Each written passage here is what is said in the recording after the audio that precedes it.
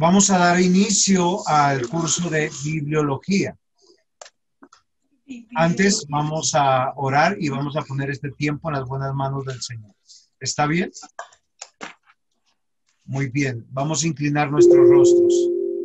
Amado Señor y buen Dios, venimos ante ti siempre suplicantes por tu misericordia, por tu gracia, dándote gracias por tu amor dándote gracias por adoptarnos hijos tuyos. Gracias te damos, Señor, porque en medio de todas las cosas, hoy podemos decir que vivimos para ti. Hoy podemos decir que tenemos la fe. Señor, te queremos rogar y te queremos pedir que nos des entendimiento de tu palabra. Que tú, Señor, nos permitas vivir tu palabra. Que nos permitas renunciar también a nuestras propias ideas y concepciones. En el nombre de Jesús. Amén. Amén. Muy bien, queridos hermanos, yo quiero comenzar poniendo en la mesa una pregunta. ¿Ustedes creen que la Biblia habla de todos los temas? Absolutamente de todos los temas. Sí, señor. Sí, señor. ¿Cómo nosotros podemos aplicar la Biblia frente a algunos temas que han ido surgiendo, ¿sí? como por decir en el tema de copyright, de derechos de autor, que eso es conocido aquí en Colombia y en todo el mundo.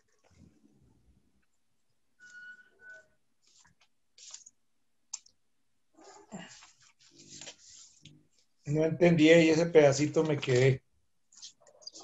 La pregunta es, eh, la Biblia habla de todos los temas, de los diversos temas. Y ustedes me dicen que sí, entonces yo estoy tocando un tema de derechos de autor, de copyright, esa R, el circulito que llega y está en algunas cosas. nosotros qué pensamos sobre ese tema. La Biblia desde qué punto está, estaría tratando ese tema.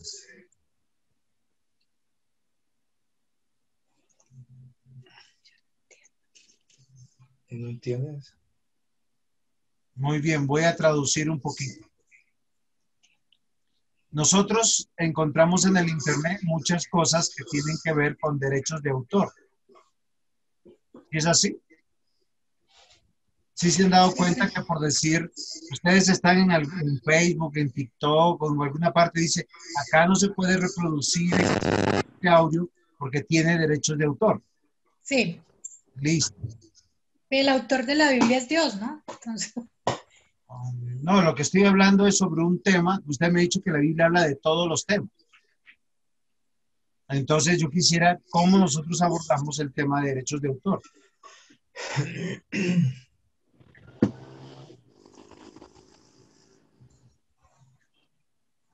O sea, no sé, en ese caso. Ahorita le puedo decir a, a Nicole que estoy grabando.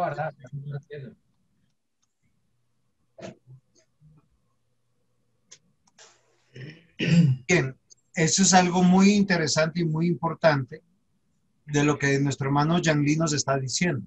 La Biblia dice no robarás, o sea, a pesar de que el, mundo va cambiando, se van, van surgiendo nuevas palabras, nuevos temas, ¿sí?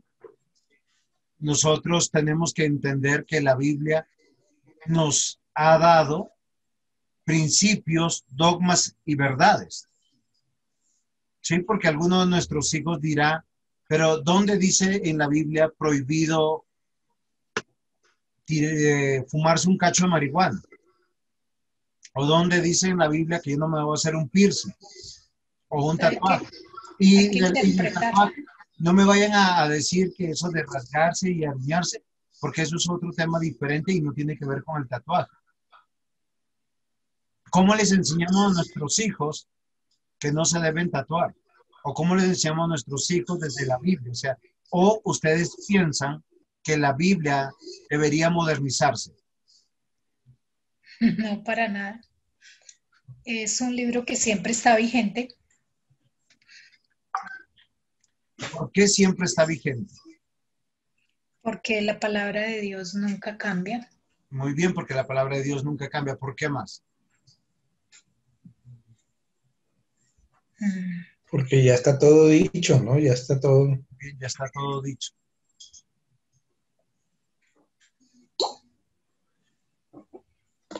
Es que, queridos hermanos, yo les voy a decir algo que debemos aprender y con esto también queremos enseñar. Una cosa es lo que nosotros decimos aquí en la mente y repetimos con la lengua y a veces es otra la que está en nuestro corazón. Claro. ¿sí? Porque si nosotros estamos entendiendo que la Biblia, toda la Biblia es palabra de Dios, ¿por qué no la ponemos por obra? ¿Por qué no la obedecemos? ¿Por qué no nos rendimos y nos doblegamos a ella? ¿Sí? Miren, yo les voy a decir, en nuestro presbiterio todas las iglesias están sufriendo deserción de los hermanos. ¿Sí? Desobediencia al día del Señor. Abiertamente bajo cualquier pretexto. Pero no, no es solamente Barrios Unidos, es Usaquén, es Soacha, es todas las iglesias. O sea, la pregunta mía es esa. O sea, nosotros vamos a hacer un curso de Biblia y yo quiero convencerlos de cuatro cosas que más adelante les voy a decir. Pero nosotros tenemos que entender, realmente hemos entendido que la Biblia es palabra de Dios que lo que dice es una verdad absoluta. Ahora, ¿qué es una verdad absoluta?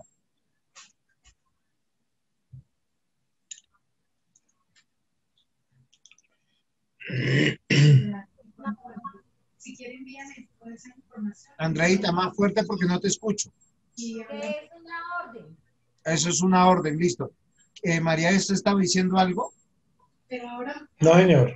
¿No? ¿A- ¿Alguien más dijo algo? entonces ya ahorita yo me desocupo por ahí. Ah, ya, lo que pasa es que está hablando por teléfono. Entonces. Vaya.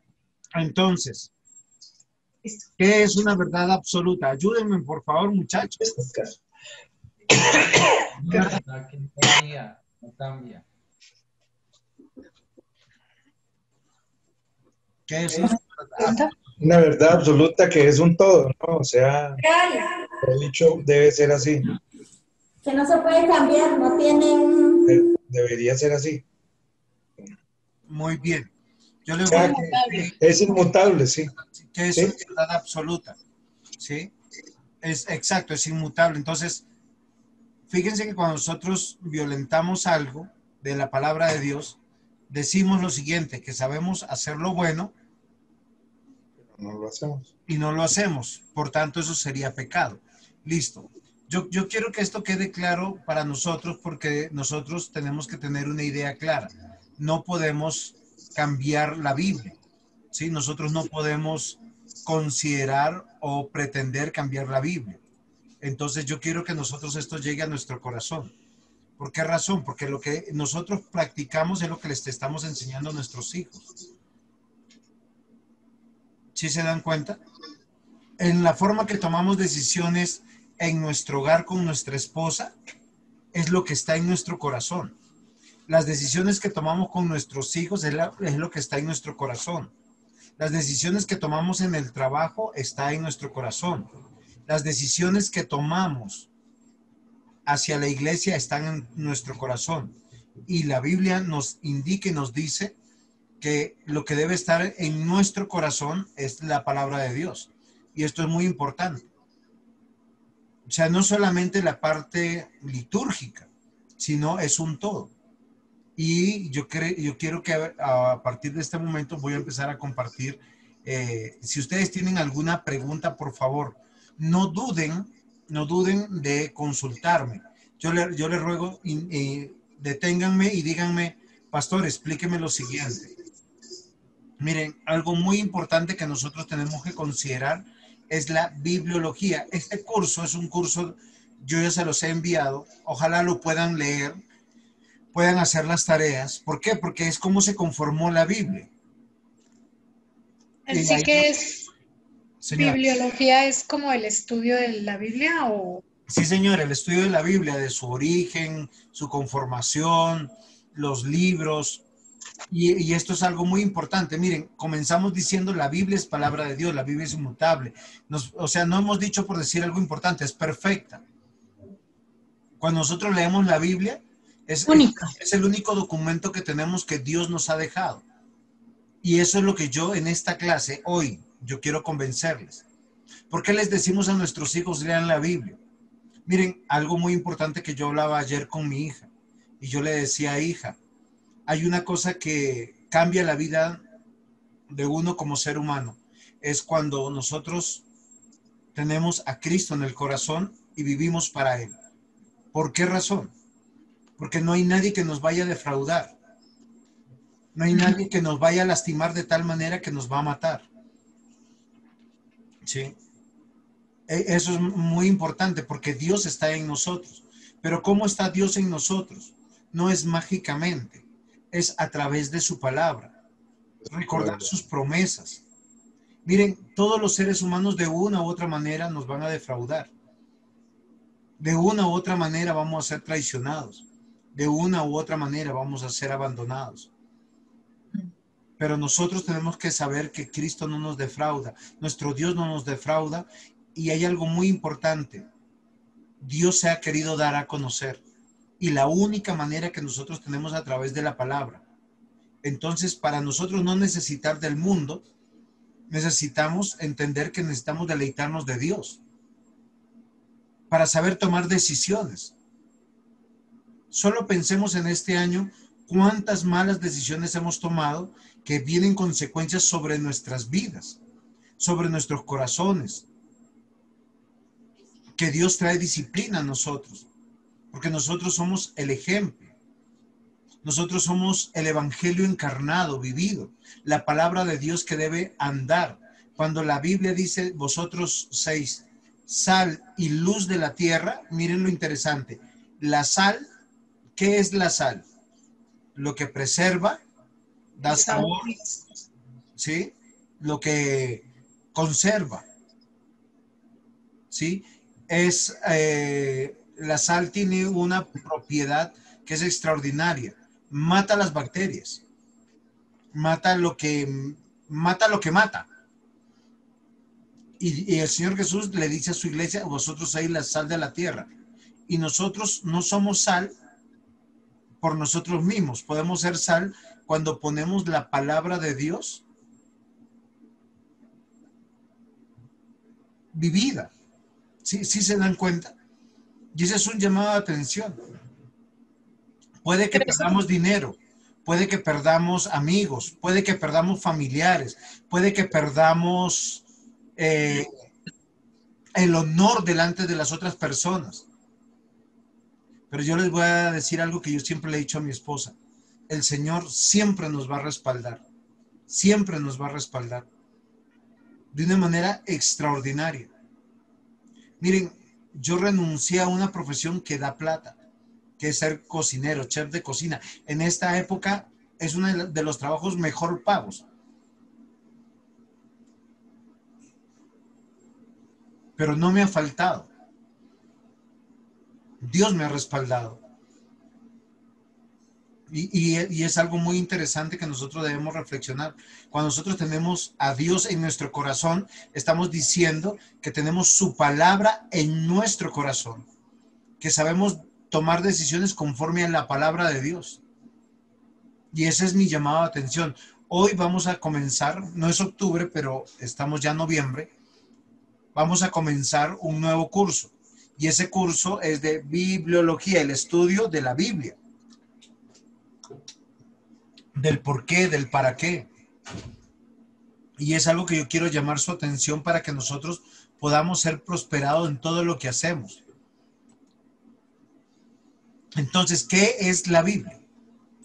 Y es algo que nosotros eh, tenemos que entender y comprender. Jerónimo o San Jerónimo es del siglo IV y es un hombre cristiano y él nos dijo que la Biblia era la biblioteca divina. Es, es de origen divino. Es un conjunto de libros en unidad. Miren, y hay algo muy particular. A Dios le plació. Y esto es algo extraordinario. ¿Cuál es el primer libro de la Biblia? En este ¿Cuál es el primer libro de la Biblia? Pero Génesis es parte de un libro. El Pentateuco. exacto. Mira, pero eso es providencia de Dios. ¿Por qué razón? Porque Dios al Pentateuco le va a ir añadiendo libros a lo largo de la historia de la redención. O sea, desde un principio era una biblioteca. Génesis comienza y nos dice que es el origen, el origen de todas las cosas. O sea, Dios nos dice, yo quiero que ustedes me conozcan a mí y lo que yo pienso, lo que yo quiero que ustedes sepan de cómo son las cosas. Hoy, por decir nosotros, somos muy condescendientes frente a la sexualidad, frente a la vestimenta, frente a los temas de, género, a los temas de política, ¿sí? Y no, tenemos, y no tenemos sabiduría para poder decidir. Y se los voy a demostrar. Voy a hacer una pregunta que le hice a mis hijas hace un momento. Solo piensen que usted van de viaje y los detiene una piedra y en la piedra dice un letrero bien grande, escoja uno y pase. En un lado hay un costal de muchísimo dinero, piedras preciosas, y al otro lado está una pequeña bolsita que dice sabiduría. Todos vamos a responder y yo al final voy a dar la respuesta. ¿Les parece? ¿Qué escogerían ustedes? ¿Qué escogería usted, María E?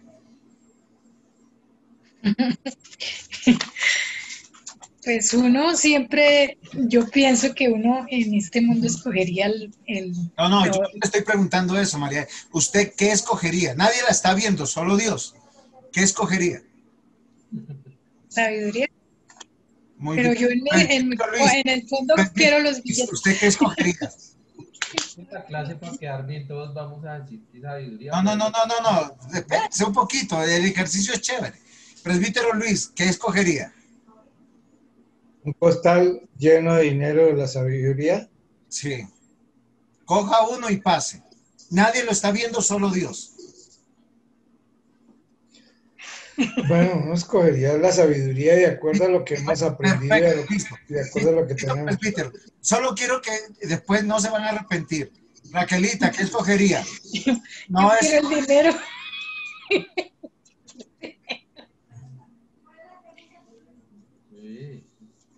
La pregunta es la siguiente. Usted está en un camino, solo Dios le está viendo, y usted se detiene y encuentra las siguientes opciones un costal de dinero y de muchas joyas preciosas, oro, plata y piedras preciosas, y en el otro una pequeña bolsa que dice sabiduría. Muy bien, Jenny, ¿usted qué escogería? Sabiduría. Diácono Me quedo como pensando. Porque uno quiere el dinero porque lo necesita. Como ser humano en ese momento necesito el dinero. Pero ¿qué escogería? Solo Dios lo está viendo, nada más. Pero igual eh, sabiendo de que Dios está ahí, o sea, que Dios me, que me, me, guía o qué. Sí, por ¿qué escogería? No, si, si, si, Dios me está viendo, si Dios me... La sabiduría, porque si nadie me está viendo, yo escojo la plata. yo dije lo mismo. ¿qué escogería? Escojo sabiduría, sin, sin dudarlo. Muy bien. Andreita, ¿qué escogería? cuál es mi corazón? Pues yo cojo la plata. La plata, muy bien. Y Diácono Mario, ¿usted qué escogería? Sabiduría y quedo bien con todos, pero creo que todos haríamos lo otro. No, no, no, o sea, nosotros estamos convencidos que Dios está ahí, nos está viendo. ¿Qué escogeríamos? Por eso, lo que pasa es que, digamos, ¿usted qué escogería? Solo, solo, diga qué escogería, usted con su corazón. ¿Qué escogería? La plata. Y en mi corazón no escoge la plata. Muy bien. No sé si el diácono Sergio va a poder responder o no. Sin embargo, voy a dar la respuesta. Si él puede responder, seguro nos va a decir algo, pero él me dijo que estaba manejando. Muy bien. Yo les voy a decir que cada quien escoge según lo que necesita. ¿Sí? Y si uno es necesita de las dos, pues debería escoger sabiduría, porque solo la sabiduría te llevaría a tener dinero. ¿Por qué yo les quiero decir? Porque eso es lo que enseña la escritura. O sea, todo el que no es sabio debe leer las escrituras para ser sabio. Pero el ser sabio nos va a llevar a prosperar. ¿Sí? En toda la escritura. Si ¿Sí, se dan cuenta mi respuesta. O sea, nosotros escogemos de lo que necesitamos. Por eso nosotros le tenemos temor a, a muchas cosas y obramos mal, porque decidimos con nuestra necesidad. Sí, sí es en serio. Sí, uno necesita un pantalón y si no tiene todo el dinero, pues uno compra un, un pantalón más económico que uno de marca. Uno busca los, los mejores descuentos. Pero fíjese que el que tiene dinero o el, o el que, o el que tiene en abundancia, él paga por lo mejor y paga de más. Y paga hasta con propina. ¿A dónde yo los quiero llevar, queridos hermanos? Nosotros tenemos que entender que la Biblia es un gran libro y la misma Biblia dice esto, ¿sí? Es un gran libro que abraza muchos libros, pero cada uno de estos libros que nosotros tenemos que entender es lo que la Biblia dice que ella es. Es el término biblón, porque a nosotros no dicen dónde dice Biblia. Entonces vamos a escoger algunos pasajes, no vamos a leer todos por causa del tiempo, sino vamos a hacer un ejercicio bonito de poder mirar que la misma escritura a sí misma se le llama el libro y se le dio el libro del profeta Isaías y sabiendo abierto el libro halló el lugar donde estaba escrito. ¿Qué pasaje es? ¿Qué dice Lucas capítulo 4 versículo 17? Que la Biblia es un libro. Ahora, este es el momento en que el Señor Jesús cumple la profecía de Isaías 61. Él va, a- le dieron a él el rollo, él abre y es Isaías 61. Ahora, hago yo una pregunta. En el tiempo del Señor Jesús, ¿ya existían los libros de esta manera? No, eran Entonces, rollos, eran rollos. eh, exacto. Entonces, ¿por qué se nos dice que es un libro?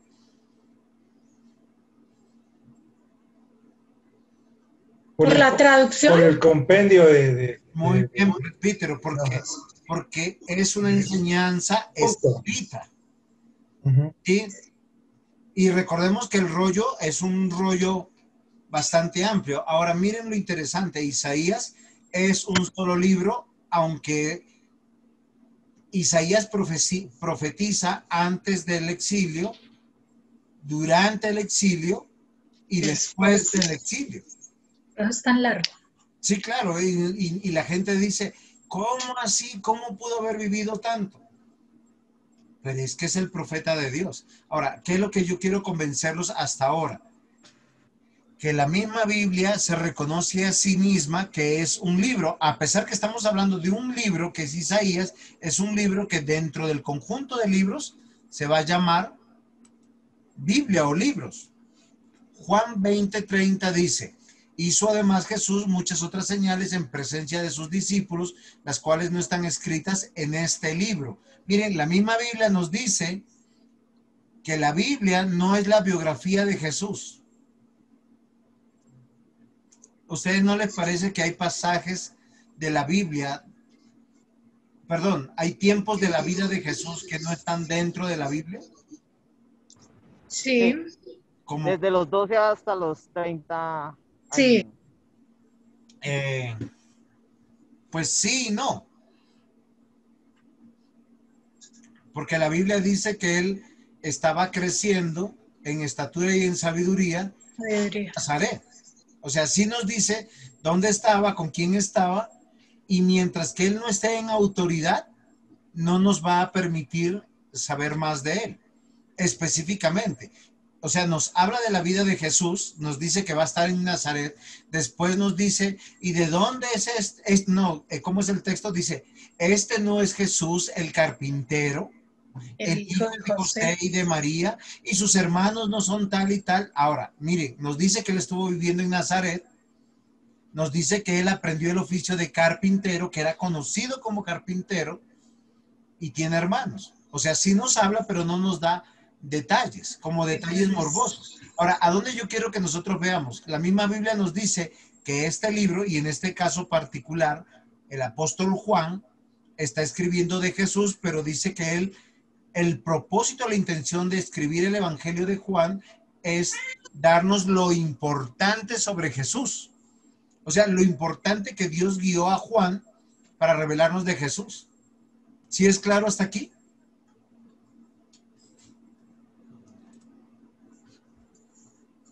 Juan 21, 25. Y hay también otras muchas cosas que hizo Jesús, las cuales ni se, las cuales si se escribieran por, se escribieran una por una, pienso que ni aún en el mundo cabrían los libros que habían de escribirse. Amén. O sea, ¿qué está diciendo?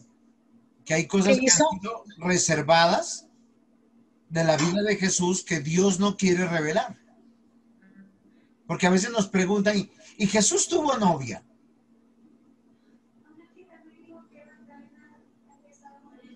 ¿Sí se dan cuenta? Y hay especulaciones como Magdalena fue novia de o amante o mujer del Señor Jesús. ¿Y por qué son especulaciones? Porque la Biblia no dice eso. Y si hubiese tenido esposa, no hubiese tenido, no hubiera habido ningún problema. Según de Timoteo 4:13. Trae cuando vengas el capote que dejé en Troas en casa de Carpo y los libros de Carpo y los libros mayormente los pergaminos. Y esto es muy importante porque nos habla de una diferencia de lo que es libro y los que son pergaminos sueltos habían como hojas sueltas, que es diferente a los rollos que son considerados los libros. Pastor, una pregunta. Señora. Em, me queda un triste duda respecto a eso porque las traducciones también de pronto cambian los términos, ¿no? Muy bien vamos a considerar en esta misma clase más adelante el tema de las lenguas y voy a procurar responder esto. Si no lo hago, me recuerdan, ¿sí? Listo. La misma Biblia nos dice que ella no solamente es un libro, nos dice que son escritos, letra o ley, como sinónimo. ¿Es claro hasta aquí? Muy bien. Juan 5:47, no voy a leer todas las citas que están ahí, vamos a leer solo algunas. Pero si no creéis en sus escritos, ¿cómo creeráis en mis palabras? Recordemos que estas son palabras del Señor Jesús. ¿Cómo llama Él a la ley? ¿Cómo llama Él a la palabra de Dios, a la Biblia? Escritos. ¿Para qué? ¿Por qué es importante que nosotros? Porque nosotros usamos para la Biblia varios sinónimos, letra, ley, palabra de Dios. ¿Qué más usamos? Sagradas escrituras. Sagradas escrituras. Palabra de Dios, la...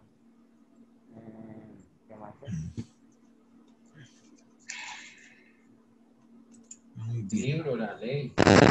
En el libro, la ley. Miren lo interesante, esta me parece espectacular, esta cita.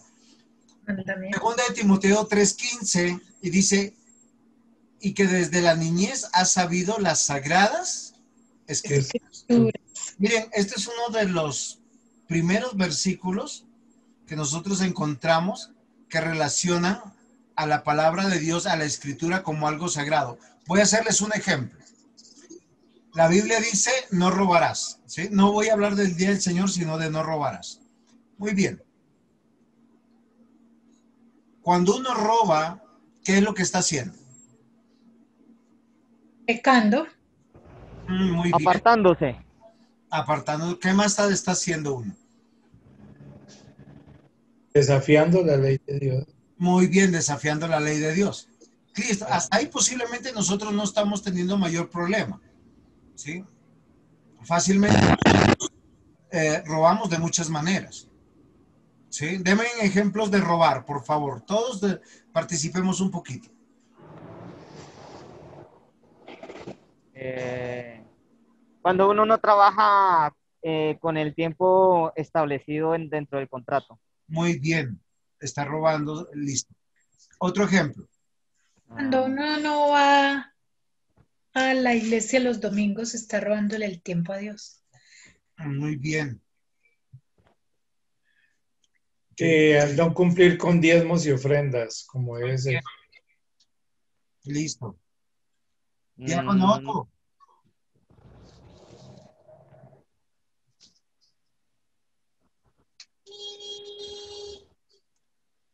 No honrar al que, al que en el momento debe de honrarse. Sí. Adulterar una, un peso o una medida. Muy bien. ¿Cómo dice? No, no leyendo las escrituras.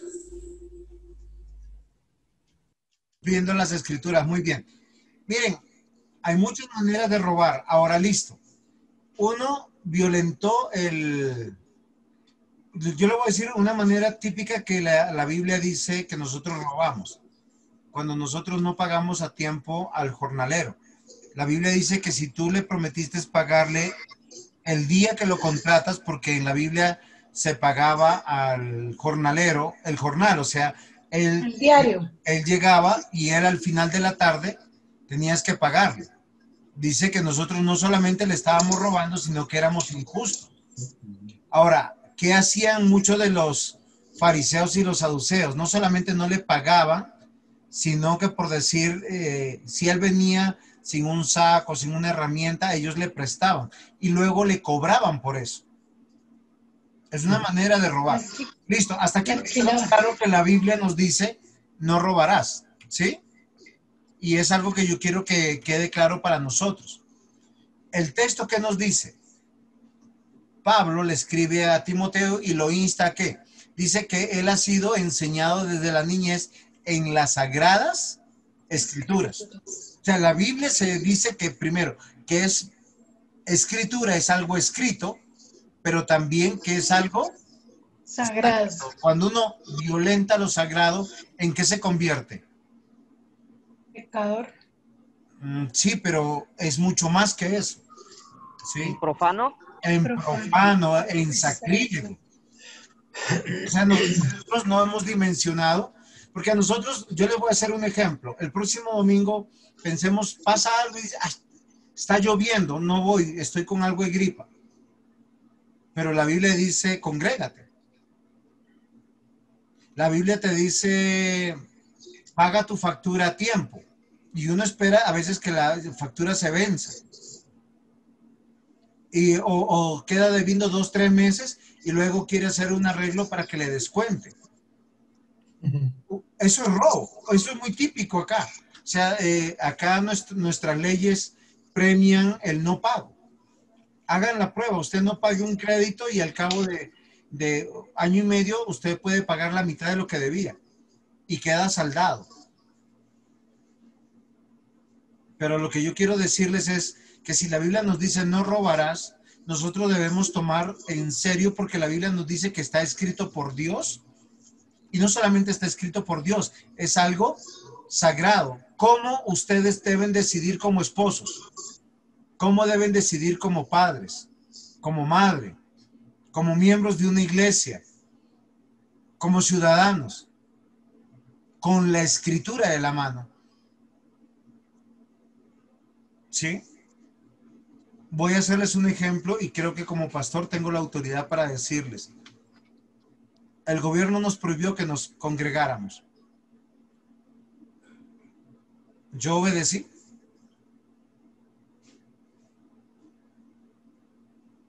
Obedecí al gobierno. No, no obedeció. ¿Por qué? Porque a mí me gobierna un principio. Y claro que desafía, yo desafío al gobierno y he desafiado a las autoridades. Y esto está quedando grabado. Pero igual ellos dijeron que el gobierno dijo que, que multitudes y ahí en la iglesia no se reúnen multitudes, No, sino no, a nosotros nos prohibieron cualquier tipo de, eh, o sea, de congregarse. ¿Se acuerdan? Marzo, abril, porque estábamos en cuarentena. ¿Quiere que le diga cómo llegaban los hermanos? Los que llegaron A escondiéndose. escondidas. Uno viniendo delante del otro, a- si venía el esposo, venía a, a 10 o 15 metros del otro. Veníamos con temor, Sin tomarse de la mano. eh, exacto, como desconocidos. Sí, sí. Pero, eh, o sea, ¿sabes qué es lo que yo quiero decir? No estoy promoviendo la desobediencia civil ni nada, pero en todo lo que la Biblia demanda de nosotros tenemos que cumplir. ¿Por qué tenemos que cumplir? Porque eso es sagrado. Y todo lo sagrado y todo lo escrito, ustedes lo dijeron, es perfecto, no cambia, es inmutable. Ustedes lo dijeron, yo no lo dije. No tiene excepción. O sea, yo no puedo decir, ay, diácono Mario, no tengo para pagarle, ¿me perdona? Porque lo estaría robando en su cara y aprovechándome una amistad y un amor y un cariño. ¿O no es así? Queridos hermanos, acá la misma Biblia dice que es escritura, pero es una escritura sagrada. Recordemos que tenemos una pregunta de nuestra hermana María E sobre el tema del idioma, pero entonces yo quiero hablar sobre algo más adelante sobre ese tema. Segunda de Corintios capítulo 3 versículos 6 y 7, el cual asimismo nos hizo ministros competentes del nuevo pacto, no de la letra, sino del espíritu, porque la letra mata, más el espíritu vivifica. Y si el ministerio de muerte grabado en letras, en piedras, fue con gloria, tanto que los hijos de Israel no pudieron fijar la vista en el rostro de Moisés a causa de la gloria de su rostro, la cual había de perecer. Se los voy a traducir para que me puedan comprender el texto. Concéntrense. Pablo se está refiriendo a una, a una escena particular. Moisés está bajando del monte Sinaí. ¿Qué había pasado? Moisés había hablado con Dios y Dios había hablado con él. Él trae las, la, la, ¿cómo se llama esto? Las tablas de la ley, trae la revelación de Dios. Cada vez que Moisés subía al monte Sinaí era hablar con Dios. ¿Sí está claro hasta aquí? Llegó un momento en que el, el, pueblo tenía tanto temor porque el monte Sinaí estaban las nubes, habían tron, truenos, relámpagos, centellas, rayos, que la gente decía, Moisés, suba usted a hablar con Dios. Nosotros no queremos hablar con Dios. Listo. Cada vez que Moisés subía, él bajaba con un mensaje de Dios. Pero ellos se dieron cuenta que cada vez que Moisés subía, al bajar, el rostro de Moisés brillaba.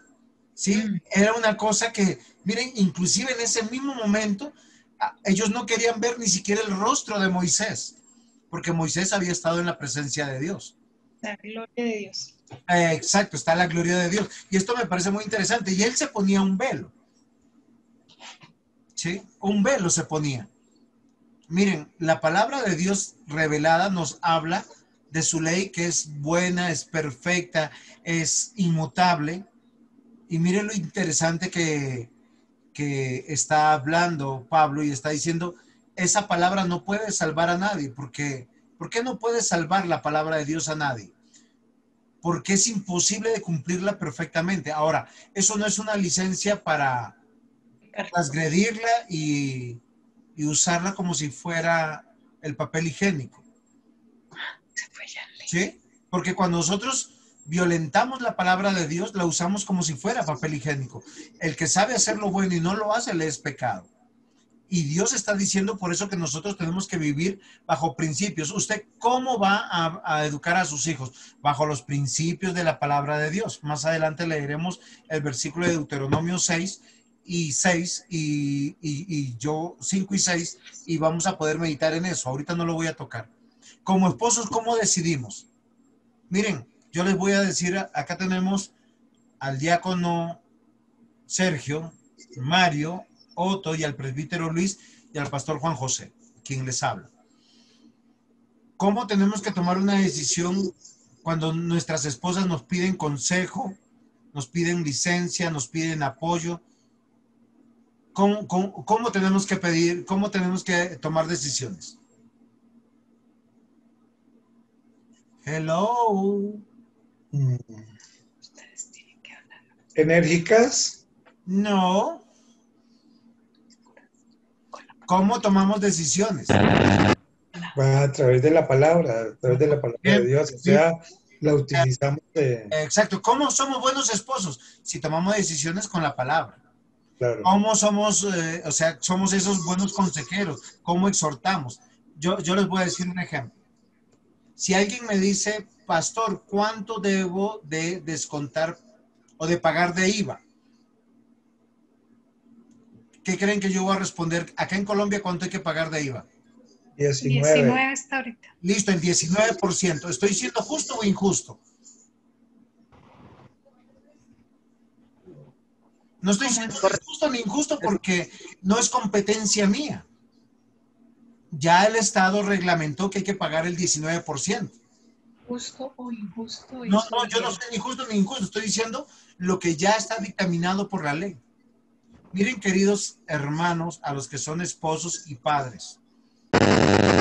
Cuando nosotros a nuestros hijos le decimos lo que tienen que hacer conforme a la palabra de Dios, no debemos tener temor.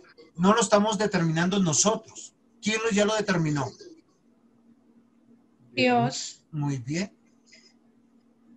Por eso toda persona que vive en nuestra casa está bajo esta cabeza. Y esta cabeza responde a Dios.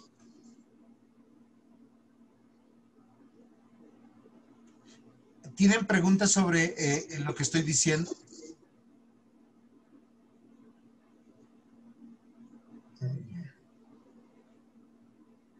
Por eso la Biblia en Tito y en Timoteo que dice, aquel que no sabe gobernar bien su casa, anhela obispado, buena obra desea, pero debe gobernar quién? ¿Cómo debe gobernar la casa?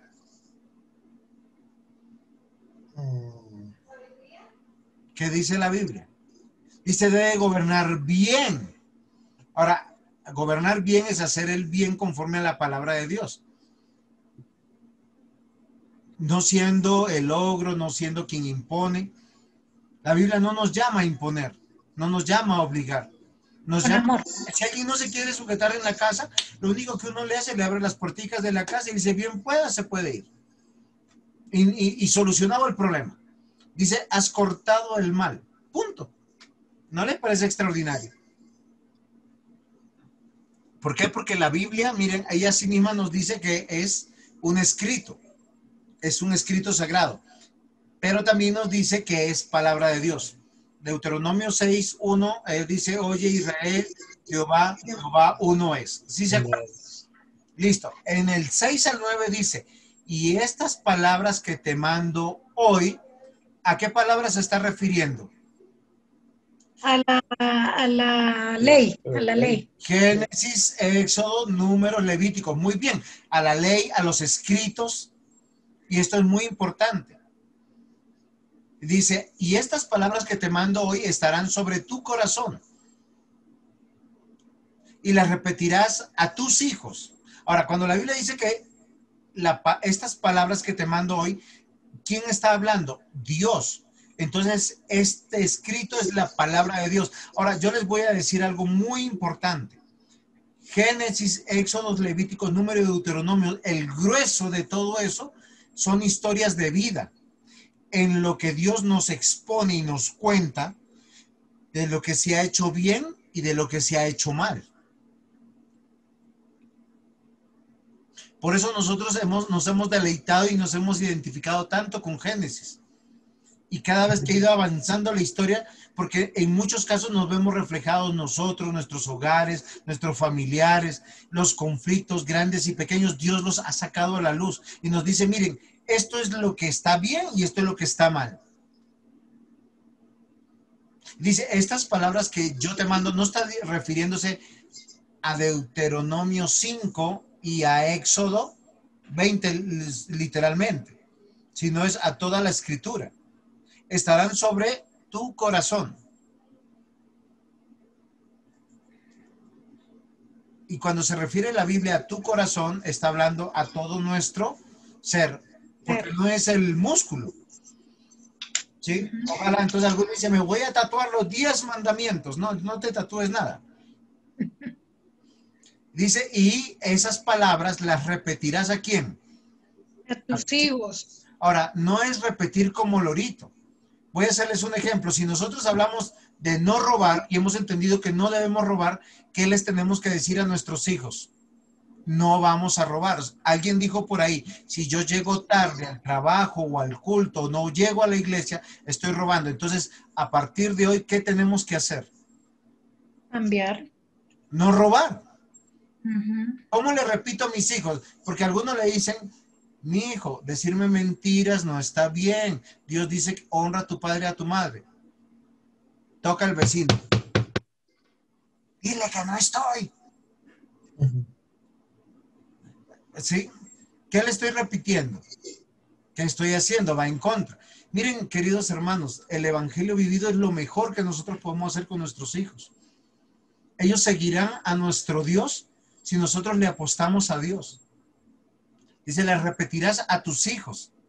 Miren, y dice, y coma, y hablarás de ellas estando en tu casa. ¿Qué quiere decir? Que tenemos que tener trabajo, pero tenemos que estar en la casa con el tiempo de que ellos vean que nosotros vivimos esas palabras.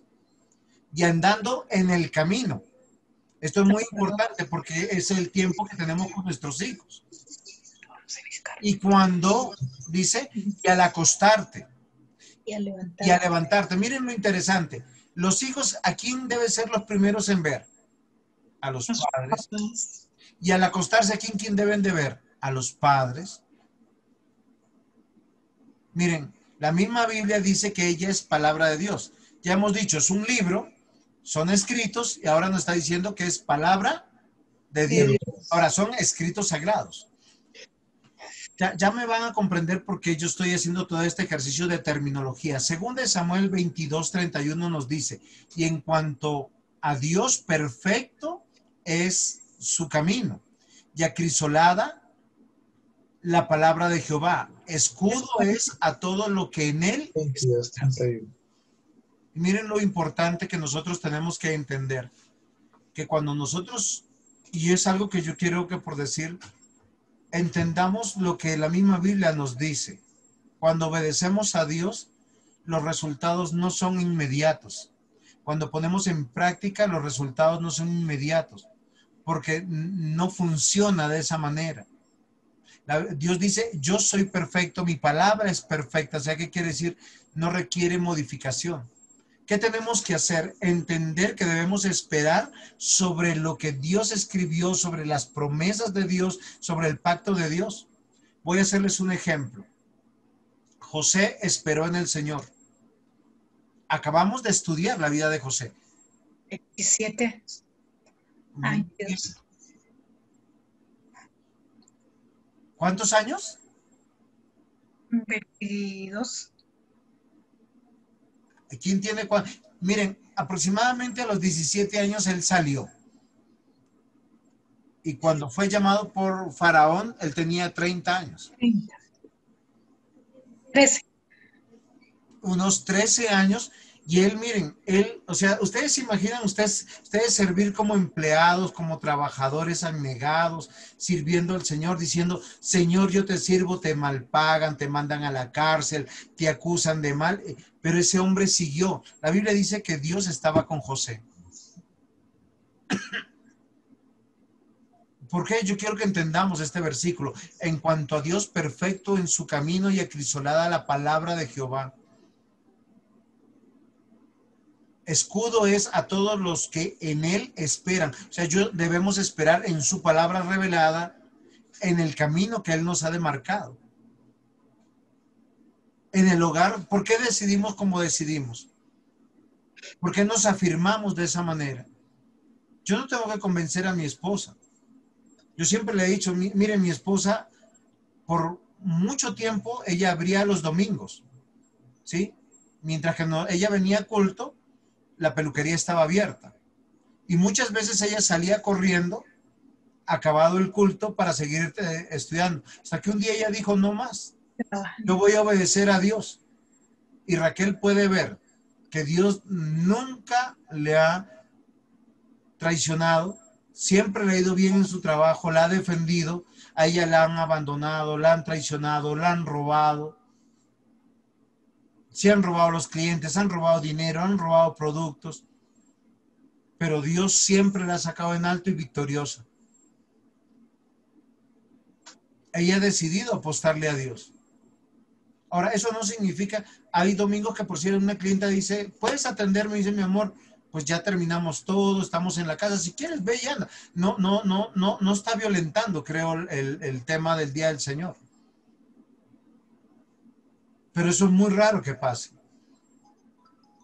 Pero ¿qué es lo que yo quiero decirle? Que nosotros tenemos que aprender a esperar en el Señor y el resultado, el resultado, el resultado es bueno. Háganlo al revés y verán. Salmo 119. Ahora, todo el Salmo 119 está escrito, ¿sí? Es un... Ay, se me fue de la palabra. Es un acróstico del alfabeto hebreo, pero casi todo tiene que ver con la palabra de Dios. Y esta, esta me parece extraordinario. ¿Con qué limpiará el joven su camino? Ahora miren lo interesante, porque los jóvenes casi siempre tenemos muchas o tienen muchas cosas en la cabeza. Ya no puedo decir tenemos muchas cosas, ya, ya, estoy, ya estoy madurito. Pero el joven casi siempre es muy interesante, o sea, él, él está entre el, a veces el mundo, las cosas de Dios. Pero la pregunta de la Biblia dice, ¿con qué limpiará el joven su camino? Y dice, con guardar tu palabra. ¿Qué es lo que puede transformar a nuestros hijos, a nuestros jóvenes en la iglesia? Su corazón, su ser. Es muy evidente la respuesta.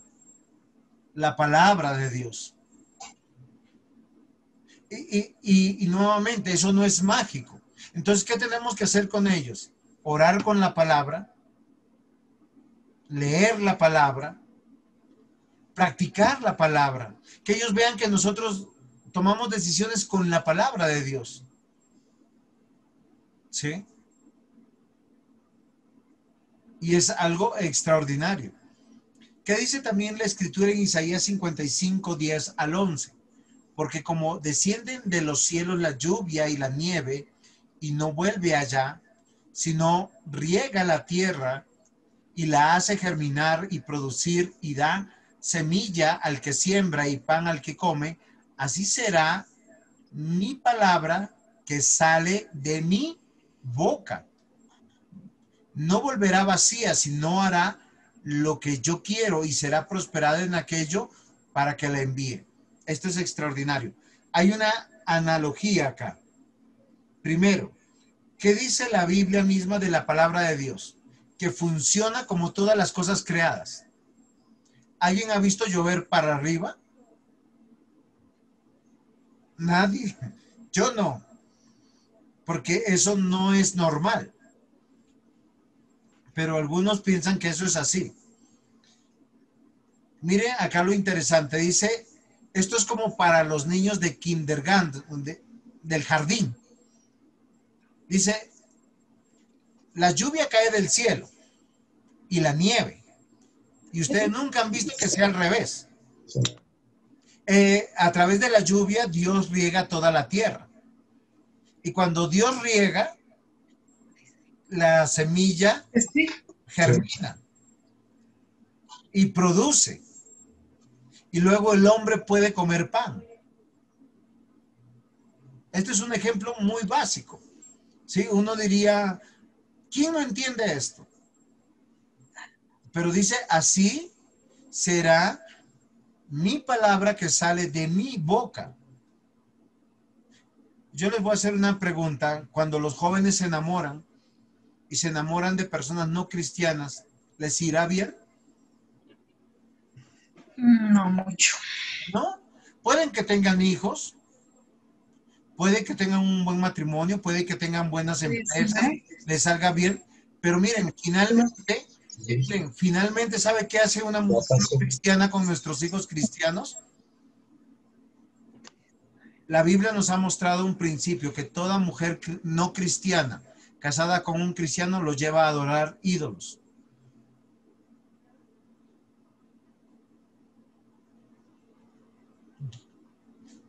Cuando nosotros leemos uno de los pasajes más complicados de la Biblia, como Génesis 5, perdón, Génesis 6, versículo 5, ¿cómo dice?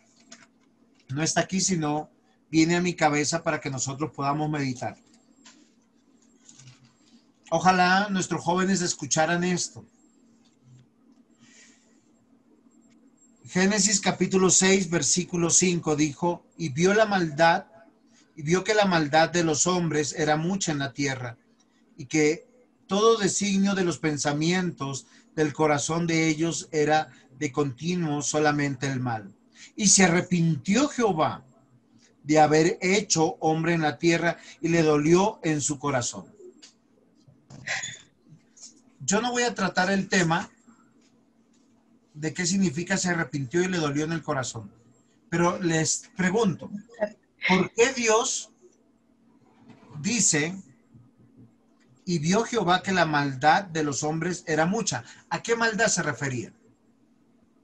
A que los hijos de Dios se metieron, o sea, se metieron con las hijas de este mundo, dice ahí en Génesis. Muy bien. Aconteció que cuando comenzaron los hombres a multiplicarse sobre la faz de la tierra y les nacieron hijas, que viendo los hijos de Dios que las hijas de los hombres eran hermosas, tomaron para sí mujeres, escogiendo de entre todas. Y miren la expresión de la Biblia, dice, y dijo Jehová, no contenderá mi espíritu con el hombre para siempre. Miren, el construir en yugo desigual. Dios lo aborrece como el adulterio, como el robar, como el matar.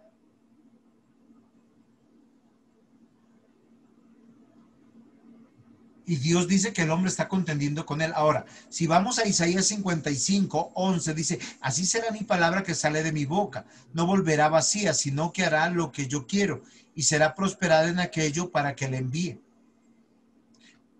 si nosotros estamos comprendiendo hoy, estamos teniendo temor de Dios y sabemos que lo que dice la Biblia lo debemos hacer y no lo hacemos, el problema no es de Dios, el problema es nuestro. Si somos cristianos salvos, vamos a recibir la disciplina de Dios. Si no somos salvos, vamos a recibir el castigo de Dios. ¿Pero por qué? Porque todo lo que está escrito en la Biblia es palabra de Dios. La obra de Dios. Sí, sí se dan cuenta. Dice, esto sale de mi boca. Al Señor Jesús le preguntaron y le dijeron, ¿por qué predicas con parábolas? ¿No sería más fácil decirles, miren, de frente? Y él dice, no, yo les predico con parábolas para que oyendo no escuchen, para que vean, no entiendan, para que yo no los sane y no los salve. Porque a ustedes se les ha dado a conocer. Queridos hermanos, la Biblia es palabra de Dios, viene de la boca de Dios. No pensemos que, que Dios va a pasar por alto. ¿Está claro hasta aquí? ¿Tienen alguna pregunta?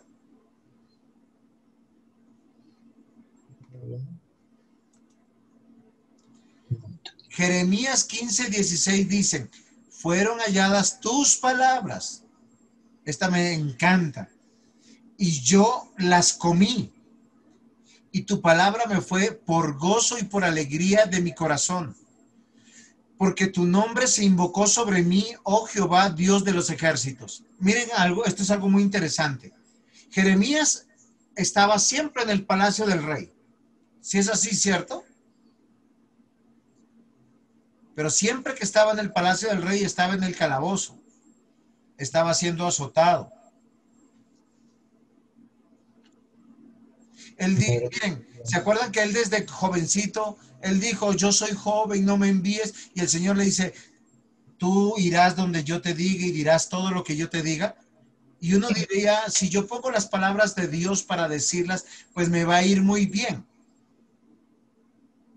Y en verdad le iba muy bien. Y esto saben por qué me parece extraordinario, porque él ejecutó lo que Dios le dijo que hiciera, dijo lo que Dios dijera, y eso le producía gozo y alegría de corazón. O sea, yo les voy a decir algo, queridos hermanos. Cuando usted como esposo dirige su hogar conforme dice la escritura, su corazón está para con Dios, lleno de gozo y alegría. Cuando usted toma la palabra de Dios y toma decisiones conforme a la palabra de Dios, su corazón no está compungido ni entristecido, está lleno de gozo y de alegría. Cuando usted como padre toma decisiones conforme a la palabra, miren, nunca le digan a sus hijos es que yo mando. Bueno, uno manda, ¿sí? No, Dios dice. El problema es de ti para con Dios. Si Dios dice uno que tiene que hacer, pues yo como padre Obedecer. obedecer, y ustedes como hijos obedecer.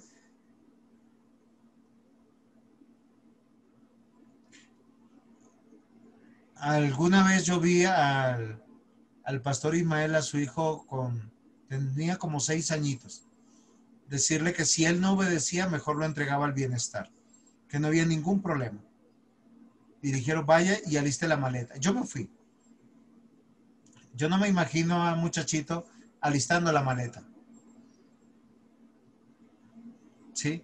Pensando. Lo que supe después es que él resolvió pedirle perdón al papá y decirle que se iba a portar bien, que mejor no se iba al bienestar. Pero yo le aseguro que si a uno le toca llevar a un hijo al bienestar, tiene sentimientos encontrados. Como padre posiblemente tristeza por estar haciendo eso, pero tiene el gozo y la alegría de corazón de hacer lo que Dios está diciendo hacer, que está educando a sus hijos.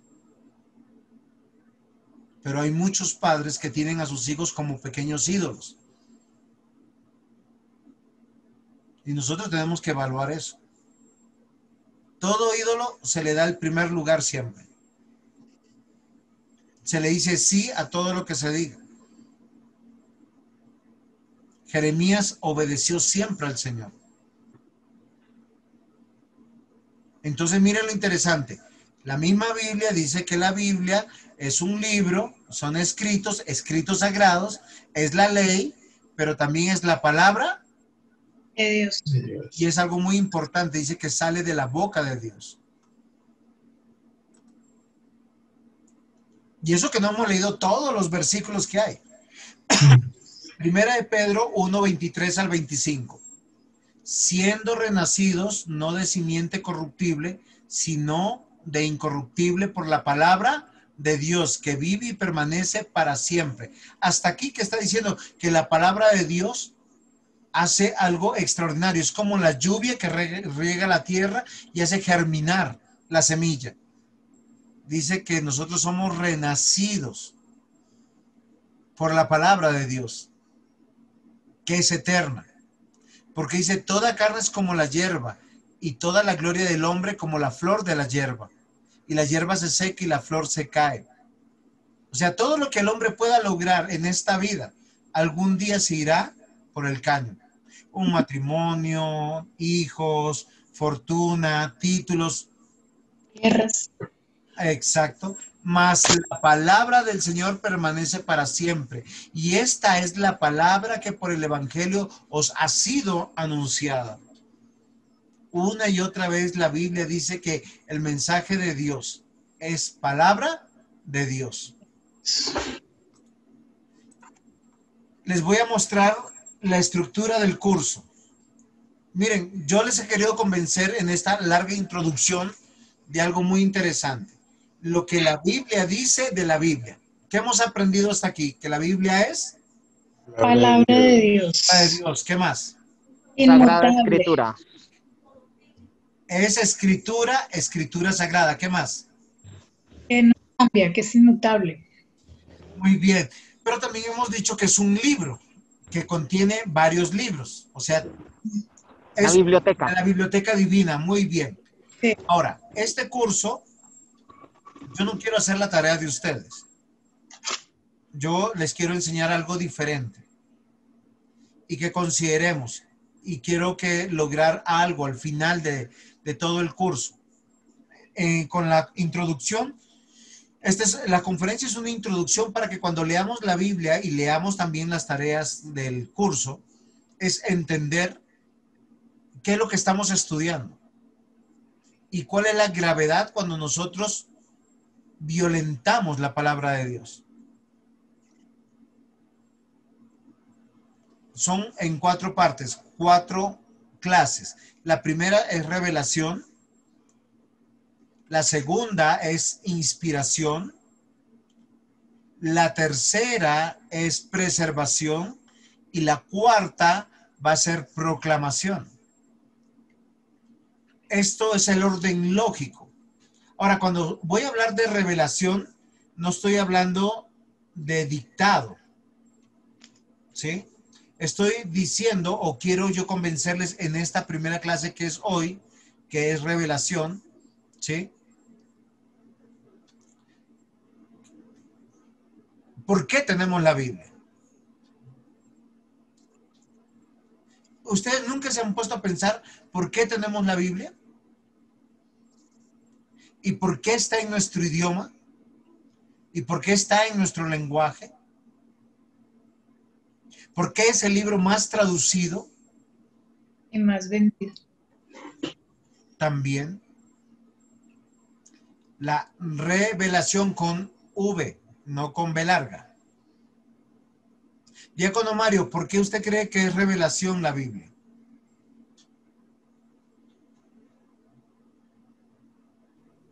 Que Dios se quiso mostrar. Muy bien. Ese es lo fundamental. Miren, queridos hermanos, nuestra fe no radica en experiencias mágicas, en experiencias raras. Muchos de los panteístas, idólatras y paganos quieren una comunicación con Dios de una manera mágica. Consumen sustancias como la sustancia del yagé para estar en comunión con la madre tierra y lo que se meten es una drogada muy buena. Una trabada. Otros en otros continentes es a través de la amapola. Y así yo pudiera navegar por muchos lados, porque ellos quieren una revelación. ¿Saben qué nos va a decir la Biblia, queridos hermanos? La Biblia nos va a decir que Dios se ha querido revelar, o sea, dar a conocer. ¿Qué es revelación?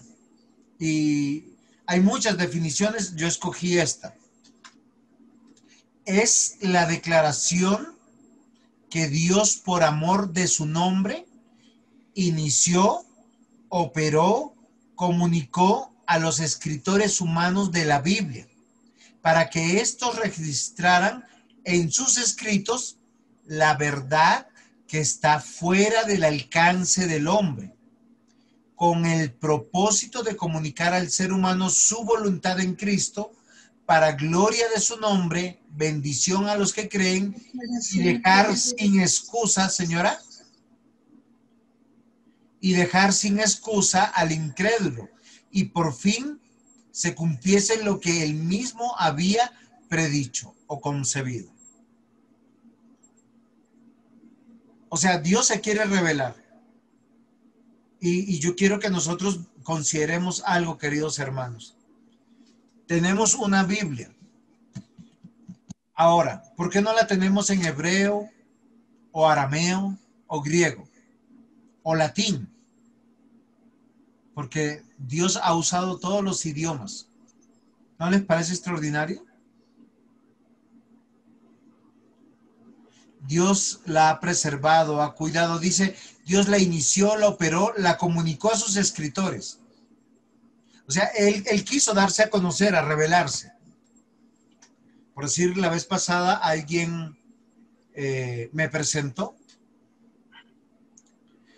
como yo estaba dando una conferencia en Bolivia, el pastor me dice, les presento al pastor colombiano de Colombia, es esposo, padre, pastor, dio datos muy asertivos. ¿En qué se equivocó? Que no era de Colombia, sino de... En que yo soy peruano. ¿Sí? Fíjense por qué, porque él tiene que basarse sobre una revelación. Y la revelación que cuando él me dijo, pastor, eh, me da algunos datos suyos, yo le dije todo lo que él dijo, menos dónde había nacido, ni cuál era mi nacionalidad. Y él presumió, y eso nos pasa a nosotros. Con la Biblia no, con la Biblia nosotros sabemos que todo lo que está ahí es verdad. Ahora, nosotros tenemos que analizar la revelación de Dios. cuando yo estoy hablando de revelación de Dios, no estoy diciendo del texto escrito, estoy hablando de la intención de Dios de darse a conocer. ¿Sí es claro hasta aquí? Porque luego viene la inspiración, luego viene la preservación y luego vendrá la proclamación, lo que nosotros hacemos. ¿Por qué proclamamos? Porque ya está escrito y lo escrito fue preservado y lo preservado fue inspirado y lo inspirado, su base fundamental es que Dios se quiso dar a conocer. Y las evidencias internas están dentro de la misma escritura. Segunda de Timoteo, capítulo 3, versículos 15 al 17. De todo el texto que dice y que desde la niñez ha sabido las sagradas escrituras, las cuales te pueden hacer sabio para la salvación por la fe que es en Cristo Jesús. Dice, toda la escritura es inspirada por Dios y útil para enseñar, para redarguir, para corregir, para instruir en justicia, que el hombre sea perfecto, enteramente preparado para toda buena obra. Usted sabe, usted tiene que decidir ¿Alguien quiere compartir alguna de sus decisiones como esposo, como padre? Y darnos un ejemplo cómo decidió. ¿Alguna decisión importante que hayan tenido que hacer?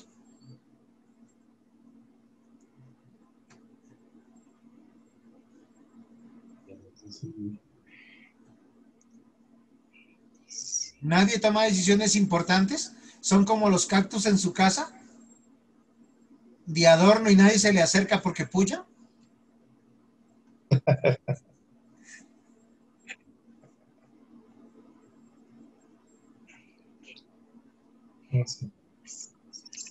Yo, yo, les quiero animar, ¿saben por qué?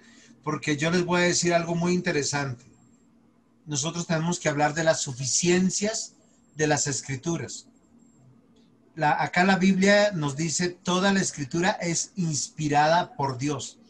Eh, la palabra inspirada, posiblemente en nuestro español, es difícil de comprender, porque cuando usted habla de inspiración, usted está haciendo esto, como que trae hacia adentro, pero la idea del griego es lo contrario, que sale, que es el aliento de Dios. ¿Sí? Dice que toda la Biblia es del aliento de Dios. Sí, o sea, eh, o sea, eh, o sea, Dios lo, quiso compartir, lo quiso dar. Y, el hombre la recibió. Ahora, porque yo les hacía algo muy importante? Porque nosotros tenemos que todo el tiempo tomar decisiones.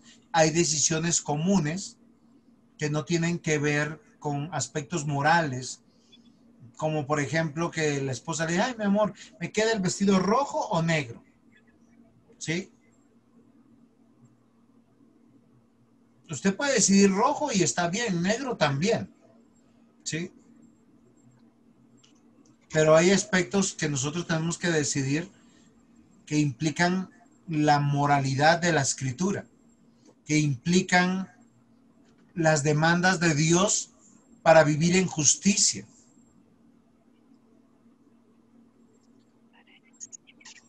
¿Sí? Y nosotros que tenemos que tomar decisiones claras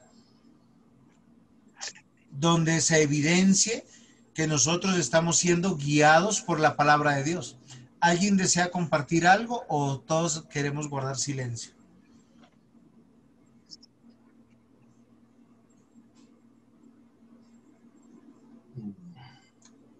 Eh, pastor, que hay algo particular que pues ahorita ya no, no pasa, pero sí estaba sucediendo cuando la palabra de Dios era de manera progresiva siendo revelada, porque a la vez era revelada, a la vez era inspirada, a la vez era guardada, o cuál es la otra que sigue, perdón, conservada, y a la vez era proclamada.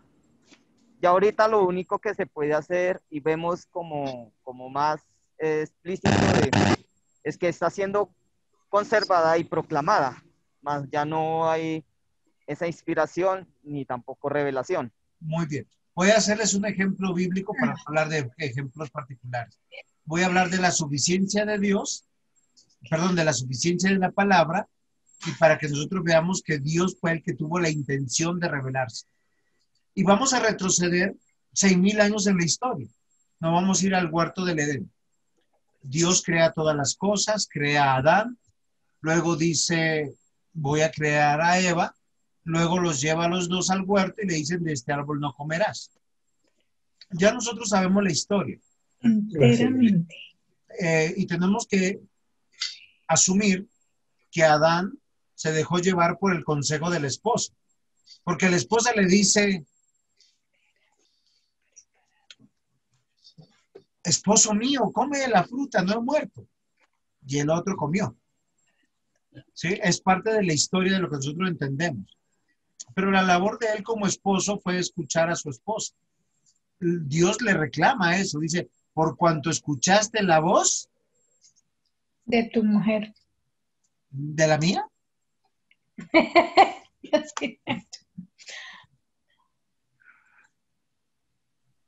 Pastor, no será más. yo no estoy diciendo que todo el consejo de la mujer es malo. Lo que yo estoy diciendo es lo siguiente. Señor, eh, entiendo más que todo es a que obedeció. no, escuchó y claro, pero es que cuando uno escucha obedece. Sí, porque pude haberla escuchado, pero si no la hubiese obedecido, no, no había pasado. No, él, él tiene que escuchar solo una voz. Es la voz de Dios. Dios le declaró y le dijo, mira, acá está este árbol, de este árbol no comerás, por eso es por cuanto tú escuchaste. Sí implica obediencia, como tú dices, porque la transgresión es desobediencia. Pero lo que yo estoy diciendo es que toda la palabra de Dios es inspirada por Dios, o sea, es exhalada por Dios y que Dios tuvo la intención de revelarse. Miren, toda la Biblia nos cuenta de la intención de Dios de darse a conocer. Y Él muestra a los hombres de Dios como Adán y como Eva de una manera honesta. ¿Sí? Porque Dios está contando la historia. Y nos está diciendo que el hombre no escuchó su voz. En este momento no hay palabra escrita.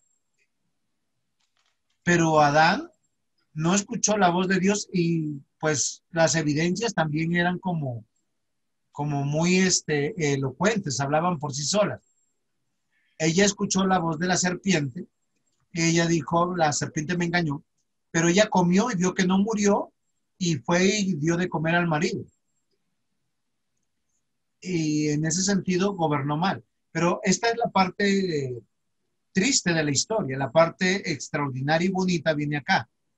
Porque Dios dice, Adán, ¿dónde estás? Dios decide revelarse, hablarlo, buscarlo, llamarlo, regenerarlo, salvarlo por medio de su palabra.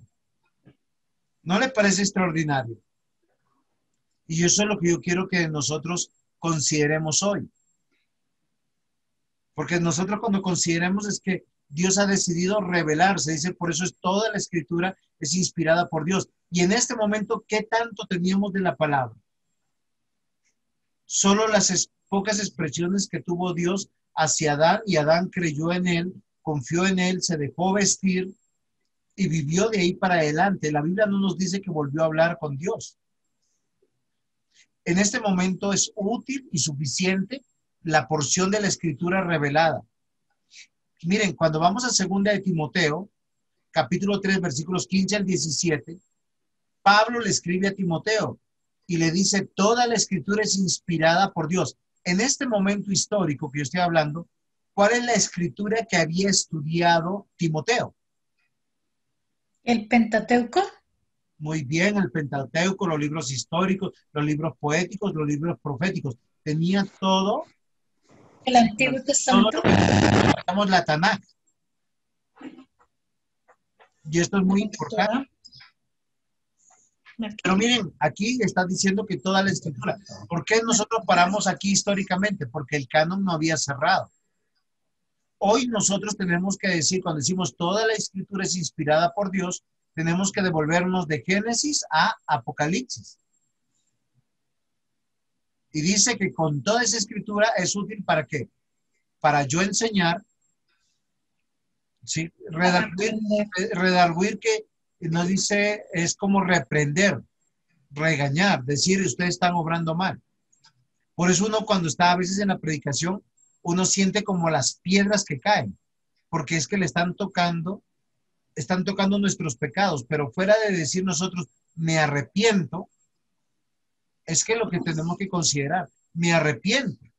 Nos quejamos. Sí, eh, a veces solo, ay, me dolió, pastor, pero corríjase.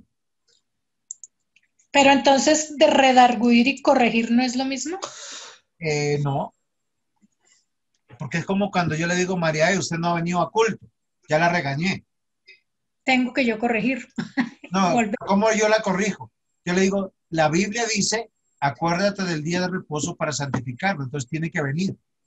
Ah, entonces el domingo hoy. Dice, para instruir en justicia. Esto me parece extraordinario. Sí, oye, ¿verdad? ¿No?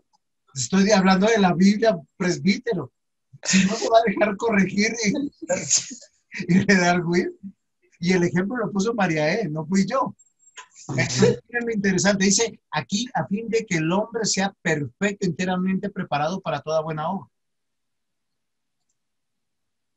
O sea, yo, yo les estoy diciendo, ¿cómo sabemos que lo que estamos haciendo es una buena obra? Si está aprobada por Dios. No es si mi esposa me lo aprueba, si mis hijos me lo aprueban, si mis vecinos me lo aprueban o si la iglesia me lo aprueba. Si es palabra de Dios. es- Eh, exacto. Si está en la escritura. Esto es una evidencia interna que Dios ha querido revelarse porque Él nos dice cómo funciona la vida. Cómo funcionamos nosotros. ¿No le parece extraordinario? Hechos 11.1. Oyeron los apóstoles y los hermanos que estaban en Judea que también los gentiles habían recibido la palabra de Dios. Miren, es muy interesante que Dios no solamente se quiso revelar a sus apóstoles y a los judíos, sino a los gentiles. O sea, aquellos que los mismos judíos no hubiesen aceptado. Hebreos 11:3, por la fe entendemos haber sido constituido el universo por la palabra de Dios. Miren, el autor de Hebreos algo hace algo extraordinario. En toda la lista de Hebreos 11, primero nos define lo que es la fe. Dice, la fe es creerle a Dios, básicamente. ¿Usted le cree a Dios? Sí, ¿Y por qué le desobedece? porque soy pecadora. Pero miren lo interesante, dice acá, si usted es de fe, usted le debe de creer, y si usted ha entendido que Dios creó el universo por la palabra de Dios, o sea, miren, miren la intención de Dios. Dios nos- no solamente nos está diciendo que Él creó todas las cosas, sino que todo funciona como Él ha querido y Él se está dando a conocer. ¿No le parece extraordinario? Entonces, hombres como Sansón, como Abraham, como Isaac, como Jacob, como los doce de la tribu de Israel, todos, todos fueron, Desobedientes. no, todos fueron bendecidos por una fe que les permitió conocer al Dios de la Biblia. Pero igual fueron desobedientes. Sí, claro, pero asumieron todas las cosas. Solo usted piense, piense en qué ha desobedecido a Dios y que Dios destruya lo que usted está co- construyendo en su desobediencia. ¿sí? Muchas mujeres hoy en el nombre del amor tienen sexualidad con sus novios, mujeres cristianas, todo para que el novio cristiano no se vaya. Perdón, el novio no se vaya. No sé, no creo que sea cristiano, pero ¿sí? O muchos hombres para eh, llenar de regalos a sus prometidas o sus mujeres o roban o mienten o estafan. No vamos a perder nuestra cristiandad, pero asumiremos las consecuencias de nuestros actos. Ajá. Segunda de Pedro 1, 20, 21. Entendiendo primero esto, que ninguna profecía de la escritura es de interpretación privada. O sea, nosotros no podemos manipular. Voy a hacerles un ejemplo. Abraham tuvo varias esposas, entonces yo tengo que tener más de una. ¿Por qué no puedo interpretar, interpretar eso? Porque la Biblia siempre ha sido interpretada por la iglesia y la iglesia siempre ha dicho que los hombres de Dios deben tener una sola esposa. ¿Sí es así o no? Sí, Señor. Pero el ejemplo que nos dan los hombres de la Biblia es el contrario. No, señora. Lo que nos muestra es que es un fracaso total tener más de uno. Usted se imagina, yo por lo menos yo no me imagino llegar a la casa y que la una me diga, no, me toca a mí. Y la otra dice, no, ¿te acuerdas que yo le traje una frutita por él? ¿Yo no cansado? No, no, no, no, no, no. Eso no es bendición. O que llegue mi suegro y mis ídolos, ¿dónde están? ¿Cómo la van? No, pues, exacto. Y, y, la, y, la, y la otra, es que estoy con la menstruación. ¿Sí? O sea, comprenda. La Biblia siempre ha mostrado el fracaso de más de tener una mujer y el diseño de Dios de crearle a, a Adán una sola mujer.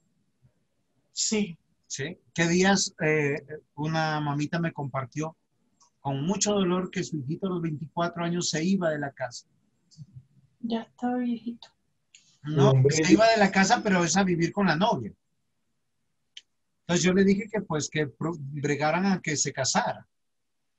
Ella me dice, no, pero es que se me va a dejar un vacío. Yo le dije, usted está avalando que él se vaya, listo. Está bien, ellos no son cristianos, yo apenas le estoy compartiendo el Evangelio. Ella, gracias a Dios, yo le dije, su hijo se va porque la carga le quedó a la hija, porque la hija es mayor y pues va a vivir con la mamá. Pero el muchachito se va con los 24 años a vivir con la novia, listo. Ya le digo, pero usted me dice, y Dios quiera que les vaya bien. Si usted quiere que les vaya bien, aplique el principio cristiano, el principio bíblico. El principio es, el hombre dejará a su padre, a su madre y se unirá a su mujer. Entonces no lo reciba para desayunar, para almorzar, para comer. No cuente con él para ningún encargo. No lo reciba en su casa. Déjelo que sea marido. Ese es el principio bíblico. Pero nosotros, ay, yo quiero ser papito, yo quiero ser mamita. Entonces, mi amor, yo te hice tu pollito que tanto te gusta. ¿Pasas mañana? Uno le está dejando una puerta abierta para un divorcio, para una separación. No, los hijos, el casado casa quiere y ojalá los veamos muy de vez en cuando, que ellos construyan su relación. Pero fíjense, nosotros siempre tenemos una interpretación privada para la Biblia. Está bien, ya. Versículo 21. Dice, porque nos da la razón, nunca la profecía fue traída por voluntad humana. Miren lo interesante de este versículo. Dice que toda la Biblia, o sea, todo lo que nosotros entendemos por profecía, por anuncio de Dios, por palabras que salen de la boca de Dios, es de interpretación privada. Y tampoco no es porque un hombre dijo, ay Señor, es que no sé qué hacer con mi mujer, no sé qué hacer con mis hijos, no sé qué hacer con este negocio. No, Dios dice, todo lo que tú necesitas está en la Biblia, yo lo he querido revelar. Dios ha tenido la intención de revelarse. Dice, sino que los santos hombres de Dios hablaron siendo inspirados por el Espíritu Santo. O sea, todo lo que nos habla Abraham, Isaac, Jacob, eh, los hombres de Dios que están en la Biblia, que nos hablan y nos dicen de Dios, fueron guiados por Dios para decirlo. Lo que dijo Isaías, lo que dijo Daniel, lo que dijo Ezequiel, lo que dijo Amós, Abacub. ¿Cuál es el argumento de los jóvenes? Ay, es que ustedes son de otra época. Es que el cristiano vive bajo los mismos principios, no importa la época. Todo santo hombre de Dios habla guiado por Dios. Y yo tengo temor hasta de lo que yo digo. Porque muchas veces me patea a mí y ustedes no lo saben.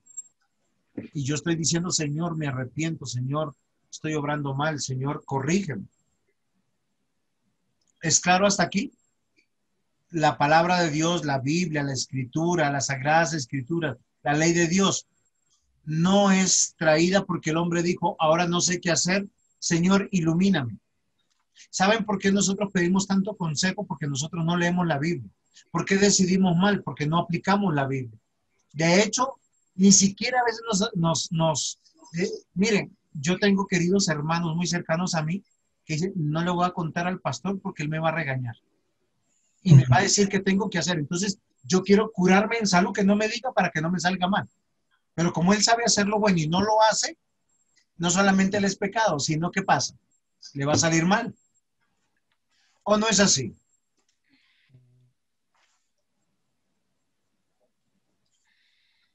¿Estoy en lo cierto? ¿O estoy equivocado?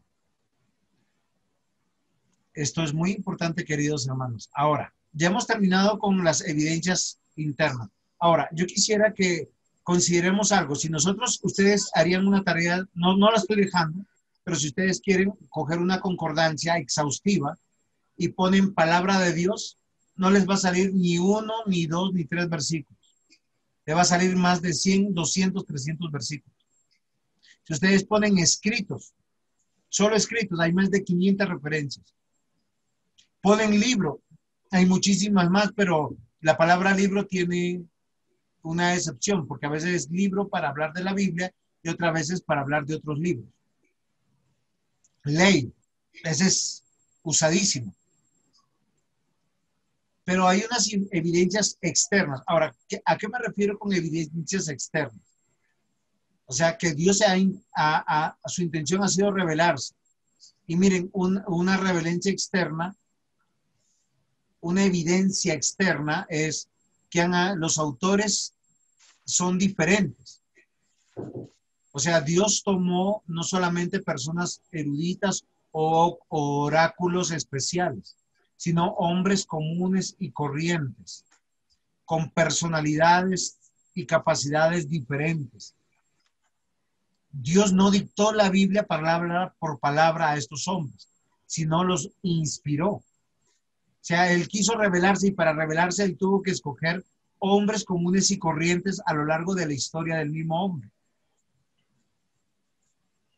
¿Es claro lo que estoy diciendo? Hombres pecadores. Sí, hombres comunes y corrientes. Para que supieran de dónde lo sacó. Sí, Dios se quiso revelar. Y fíjense que hay hombres que nosotros no conocemos mucho de la historia de ellos. Pastor, una pregunta. Señora. ¿Por qué dice escrita de 35 a 40? ¿No son exactos? Eh, es que los teólogos, o sea, eh, la mayoría de teólogos dicen que son 40, pero hay otros que dicen por algunas razones, eh, están, algunos dicen 35, otros dicen 37, otros dicen 38, otros dicen 40. el hecho es que son autores diferentes, por lo menos son 40, ¿sí? Entre 35 y 40 autores esto no está definido, uno no puede ser como dogmático en esta parte. Ahora, no es importante porque uno dice, Isaías escribió porque la Biblia dice que Isaías lo escribió. ¿Quién fue? Nosotros no lo sabemos, pero sabemos que perteneció a una época, estuvo en esa época, vivió, fue real, no, no fue algo mágico, la escritura no, no, no, no fue encontrada como eh, en un hueco, en un hoyo y no sabíamos quién la escribió. No, nosotros sí sabemos quién la escribió.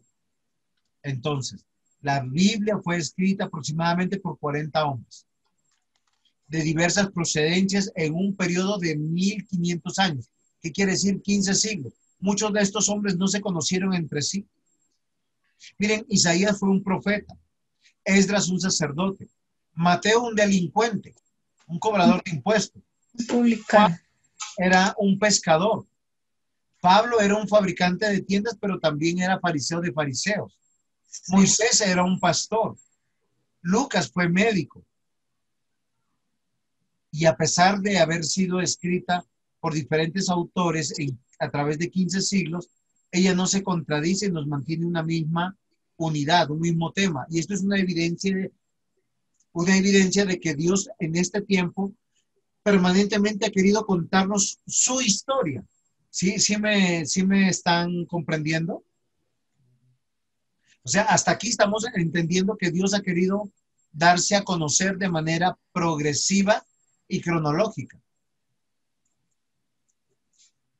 Diácono Mario, ¿está bien lo que estoy diciendo? o ¿Estoy equivocado?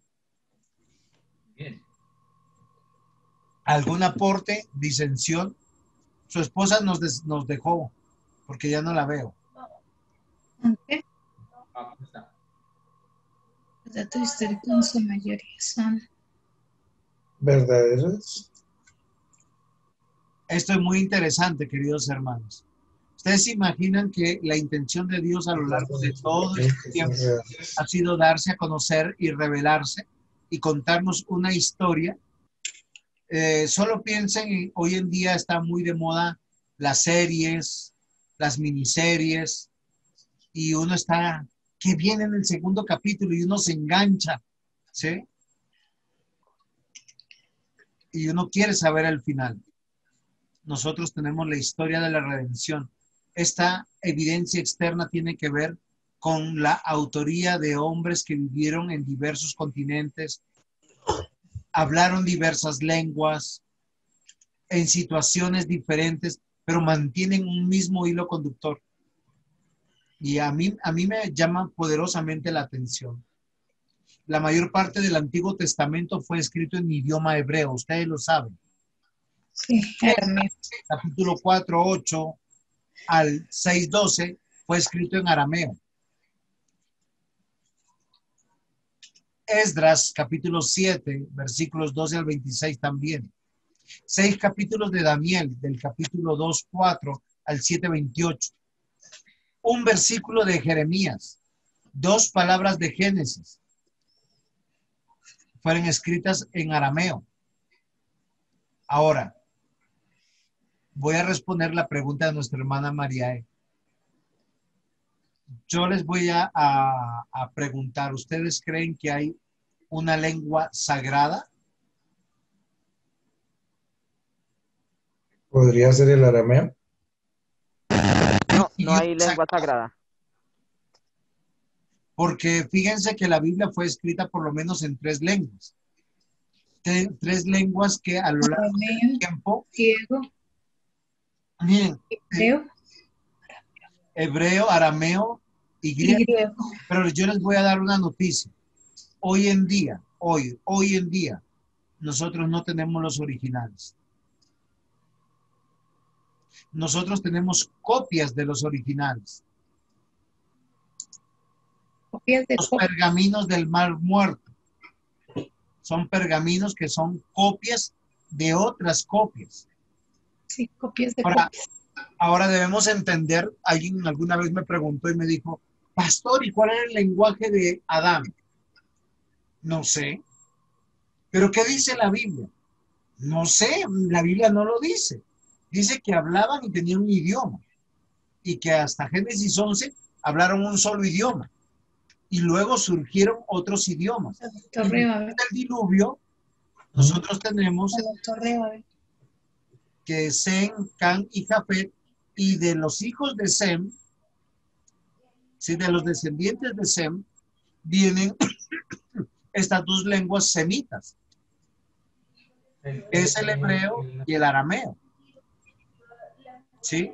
Fue Dani, y Daniel estaba, hablaban en, en la- De uno de los cinco hijos de Sem tenemos estos, estos, estos, estas lenguas. Ahora, Dios ha preservado de manera providente las escrituras en un idioma que nosotros podamos traducir y entender.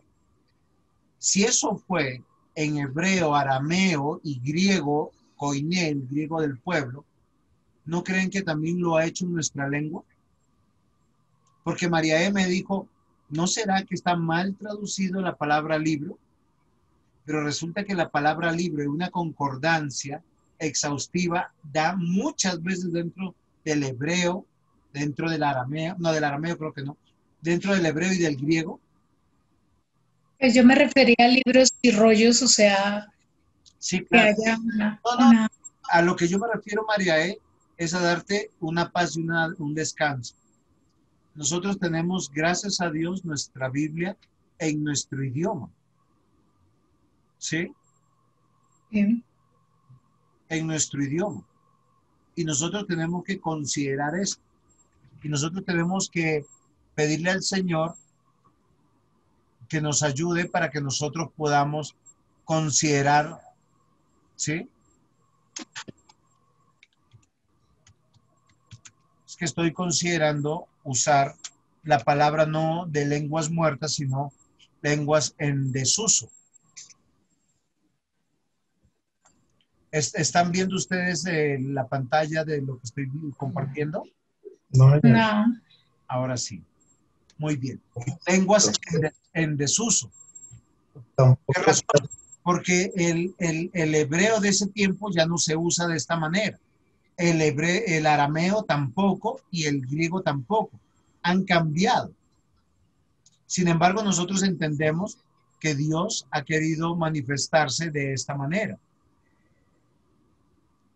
Ahora, algo extraordinario que nos muestra la Biblia, que Dios ha usado todos los estilos gramaticales posibles.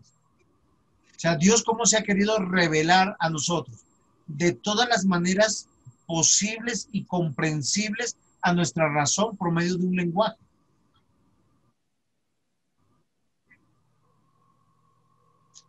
Metáforas, alegorías, narración, poemas, cánticos,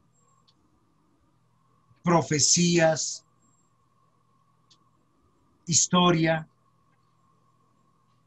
Es una evidencia externa que Dios siempre ha estado queriéndose dar a conocer, que no ha dejado al ser humano ni a su pueblo nunca. Por eso nosotros decimos que la escritura es arte de escribir los pensamientos y los hechos que suceden. Miren, Él es el mejor autor, el único y extraordinario.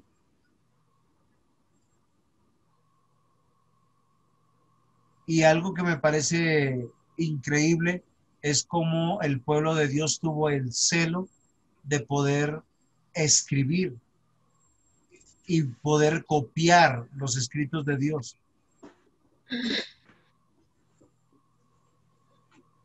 ¿No les parece extraordinario? Miren, los masoretas, que eran las personas encargadas de hacer las copias, dicen que si a ellos les caía una gotica de sudor en el pergamino, el papiro, ¿sí? en, el, en el material que estaban escribiendo, ellos inmediatamente desechaban esa porción completamente. ¿Por qué razón? Porque ellos dentro de su idioma, las tildes, las comas, los puntos eran muy importantes. Una iota puede cambiar la idea de la palabra que se está diciendo totalmente. Y ellos estaban pensando en la preservación y posteriormente posiblemente vamos a hablar de esto. Se usaron cosas comunes y corrientes a lo largo de la historia, desde el hollín hasta la tinta.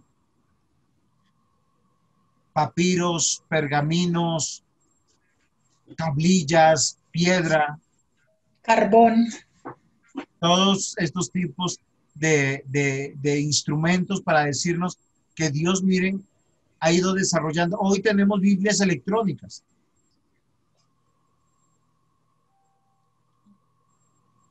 Otra de las cosas como evidencia externa es los datos históricos que nosotros tenemos. Nosotros cuando hablamos de los pueblos de los filisteos, de los hititas, queridos hermanos, ellos existieron en la historia. Cuando hablamos de asirios, sirios, de faraones como Ramsés, existieron. Cuando hablamos del Éufrates, del Tigris, existieron. Entonces los datos históricos en su mayoría son verificables, los datos antropológicos reales. O, o, sea, Dios nos está contando la historia en un mundo real, en una cronología real.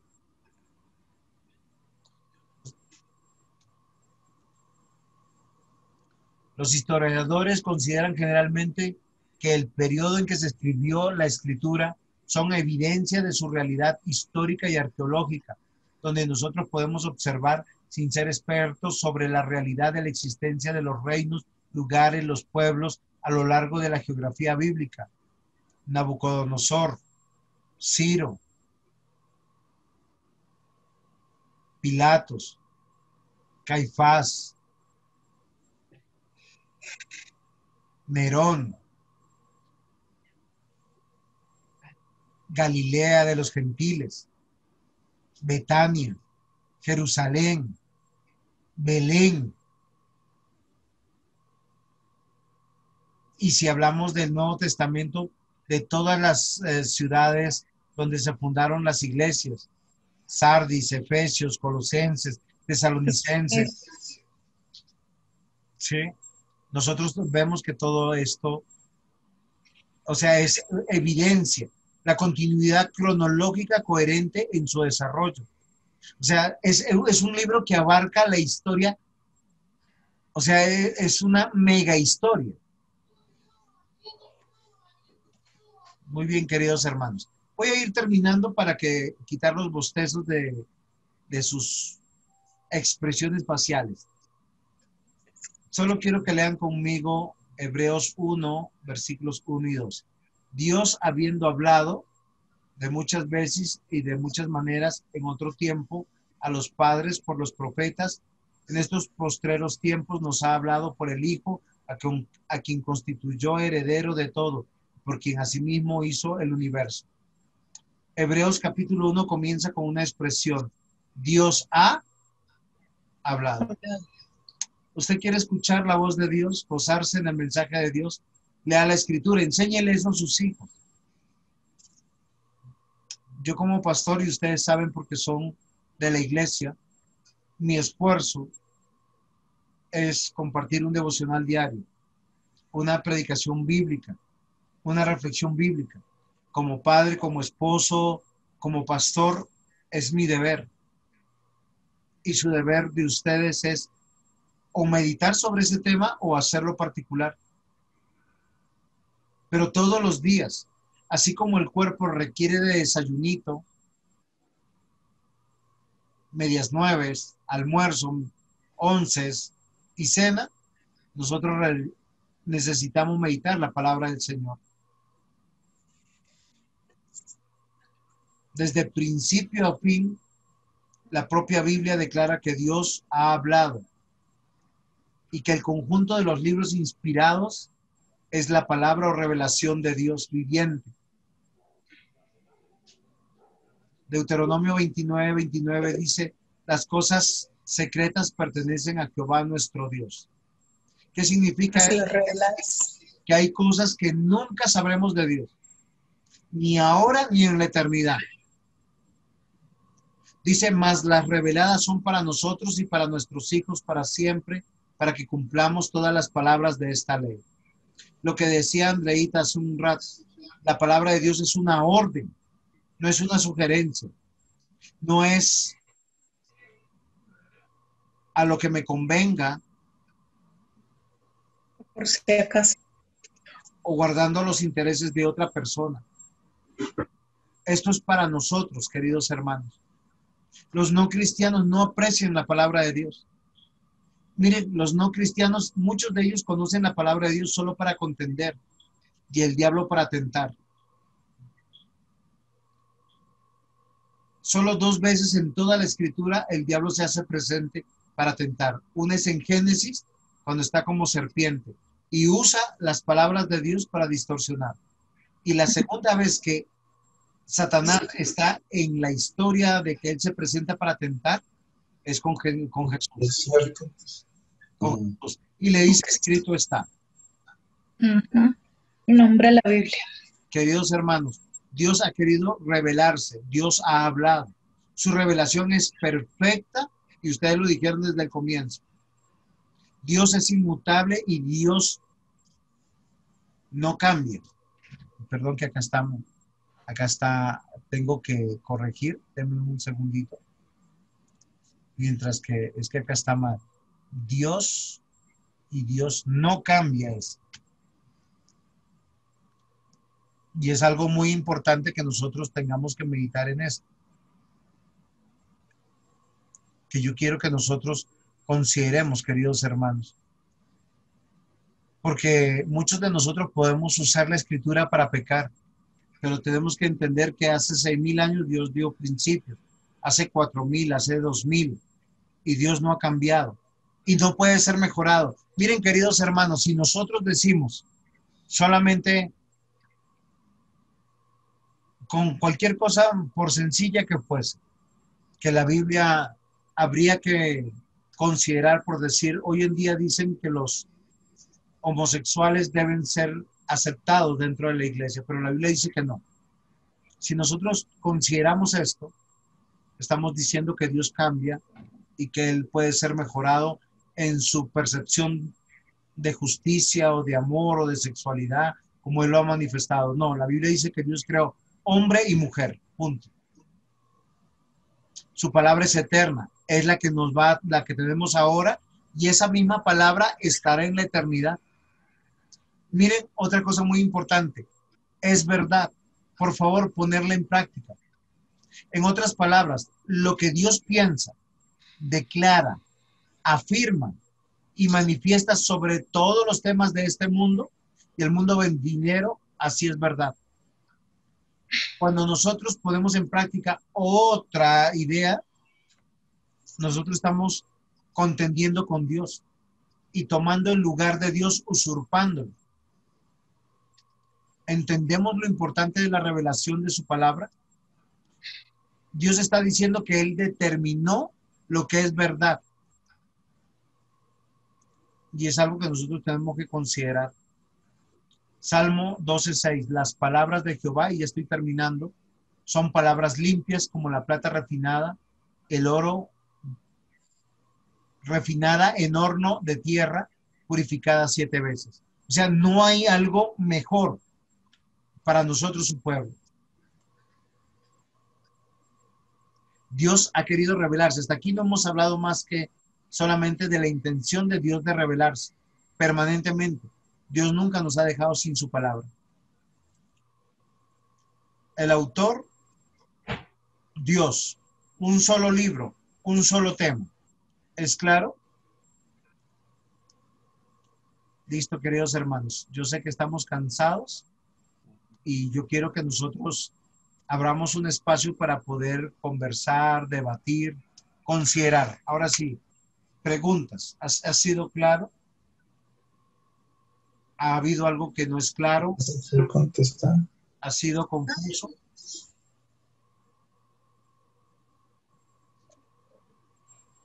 Miren, el presbítero Luis, el diácono Otoniel, el diácono Sergio, yo tenemos hijos pequeños.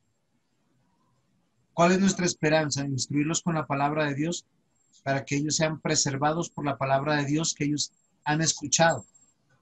Sí, el caso de nuestra hermana Andrea le pasa lo mismo con Jesús, con Jesús Esteban. Y nosotros no consideramos eso, nosotros vamos a obrar mal. ¿Sí? Nuestra única esperanza no es ganarnos con regalos a nuestros hijos, es instruirlos en la palabra de Dios para que ellos puedan ser transformados, para que sean edificados, para que crezcan bajo las promesas del Señor. Es nuestra única esperanza, no hay nada mágico. Instruye al niño en su camino y él no se. Cuando fuere viejo, se apartará. ¿Sí es claro? Sí, Señor. Si ustedes lo instruyen sobre el paganismo, sus hijos serán paganos. Si ustedes lo ins- instruyen entre el paganismo y lo bíblico, sus hijos tendrán esa bipolaridad. Nuestra única esperanza es esa intención de Dios de revelarse y la sigue manteniendo porque nos ha dejado su palabra y la tenemos en nuestro idioma. No necesitamos un traductor. Es la misma esperanza que tenemos para nosotros. Yo hablaba con mi esposa hace un rato y nosotros hemos tenido malos momentos en el matrimonio. Yo le dije, esposa, ¿usted cuánto tiempo oró por mí? Me dice, aún oro, me dice. Y yo le digo, wow, esa respuesta no me la esperaba. Pero ella, ella sí la sacó de adentro y me dijo, aún oro. ¿Pero por qué razón? Porque su única confianza es que la palabra de Dios obre en mi corazón. Porque es lo único que nos lleva al arrepentimiento, a afirmarnos. Entonces, eh, hoy yo quiero que en nuestras mentes quede algo y en nuestro corazón.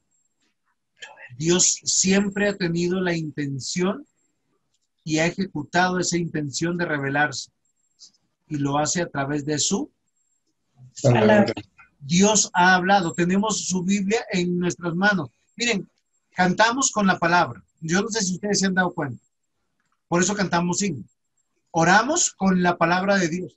Alguien me dice, ay, pastor, usted qué ora tan bonito. Y yo digo tan bello, porque yo estoy tratando de recordar versículos bíblicos para orar. Eh, gui- Guiarme por la palabra para orar. No sé si se han dado cuenta. Y es algo que nosotros tenemos que aprender. ¿Sí? Queridos hermanos, Dios nos está hablando.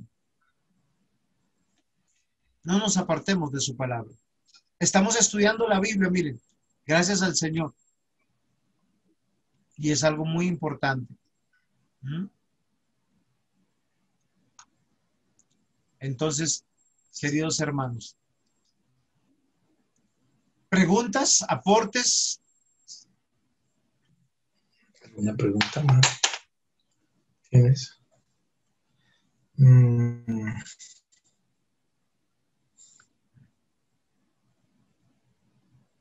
No, no veo yo. ¿cómo, le- cómo les pareció esta clase, el curso? Yo creo que en el trayecto de la semana y en la próxima clase vamos a tener preguntas sobre lo que leímos hoy y sobre lo que aprendimos hoy. Muy bien, perfecto. Diáconos, guerreros, soldados de Dios. Ustedes son la primera línea de batalla en la iglesia, ¿sí sabían eso? Los constes de malo. Los diáconos. Así, pero en la, ¿Confieres? en la Es batalla. lo que uno envía para la batalla. Los Los- arqueros. Los peones. Esa es la infantería.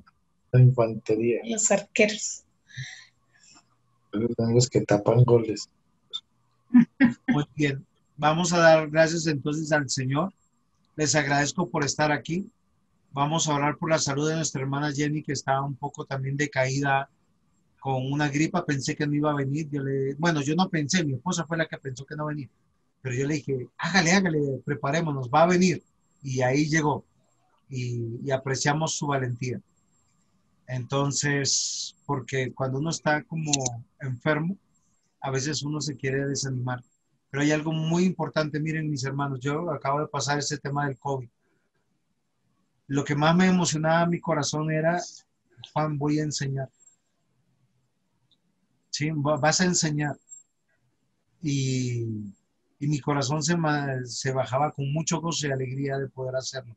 No por enseñar, sino por meditar la palabra. Cada devocional de ese momento fue de aliciente para mí, de saber que hay una tarea que hay que hacer y una tarea que hay que comunicar. Y yo los quiero desafiar. Si nosotros tenemos que aceptar un desafío es, Dios me está hablando. Todos los días. Pensemos en eso. Dios no ha dejado su intención de revelarse. Hoy ustedes lo conocen más que ayer. Hoy ustedes están más desafiados que ayer, como esposos, como padres, como miembros de la iglesia, como miembros de una sociedad. Amén. Vamos a orar. ¿Sí les parece? Hay que orar por nuestra hermana Jenny. Quiero pedirle oración a nuestro presbítero Luis. Me pidieron oración por una señora de 33 años que está muriendo, está hospitalizada. No recuerdo ahorita el nombre. Eso, oremos por ella. Sí, no recuerdo ahorita el nombre en este momento, pero pues quisiéramos orar por ella, ¿les parece? Sí, señor. Bueno, inclinamos nuestro rostro. Soberano y amado Dios, Señor de amor, de bondad y de misericordia. En esta noche, Señor, nos unimos delante de ti, porque, Señor, sabemos que tu presencia es infinita en medio de nosotros. Tú nos has enseñado a conocer tu palabra y sabemos, Señor, que por medio de ella somos instruidos en la verdad y en nuestras obligaciones para contigo, Señor, y para con nuestro prójimo. Te pedimos humildemente, Señor, que seas tú cada día rearguyéndonos de pecado, de maldad y que nos permitas tener un corazón limpio delante de ti, para que todo lo que hagamos, Señor, llegue con olor fragante.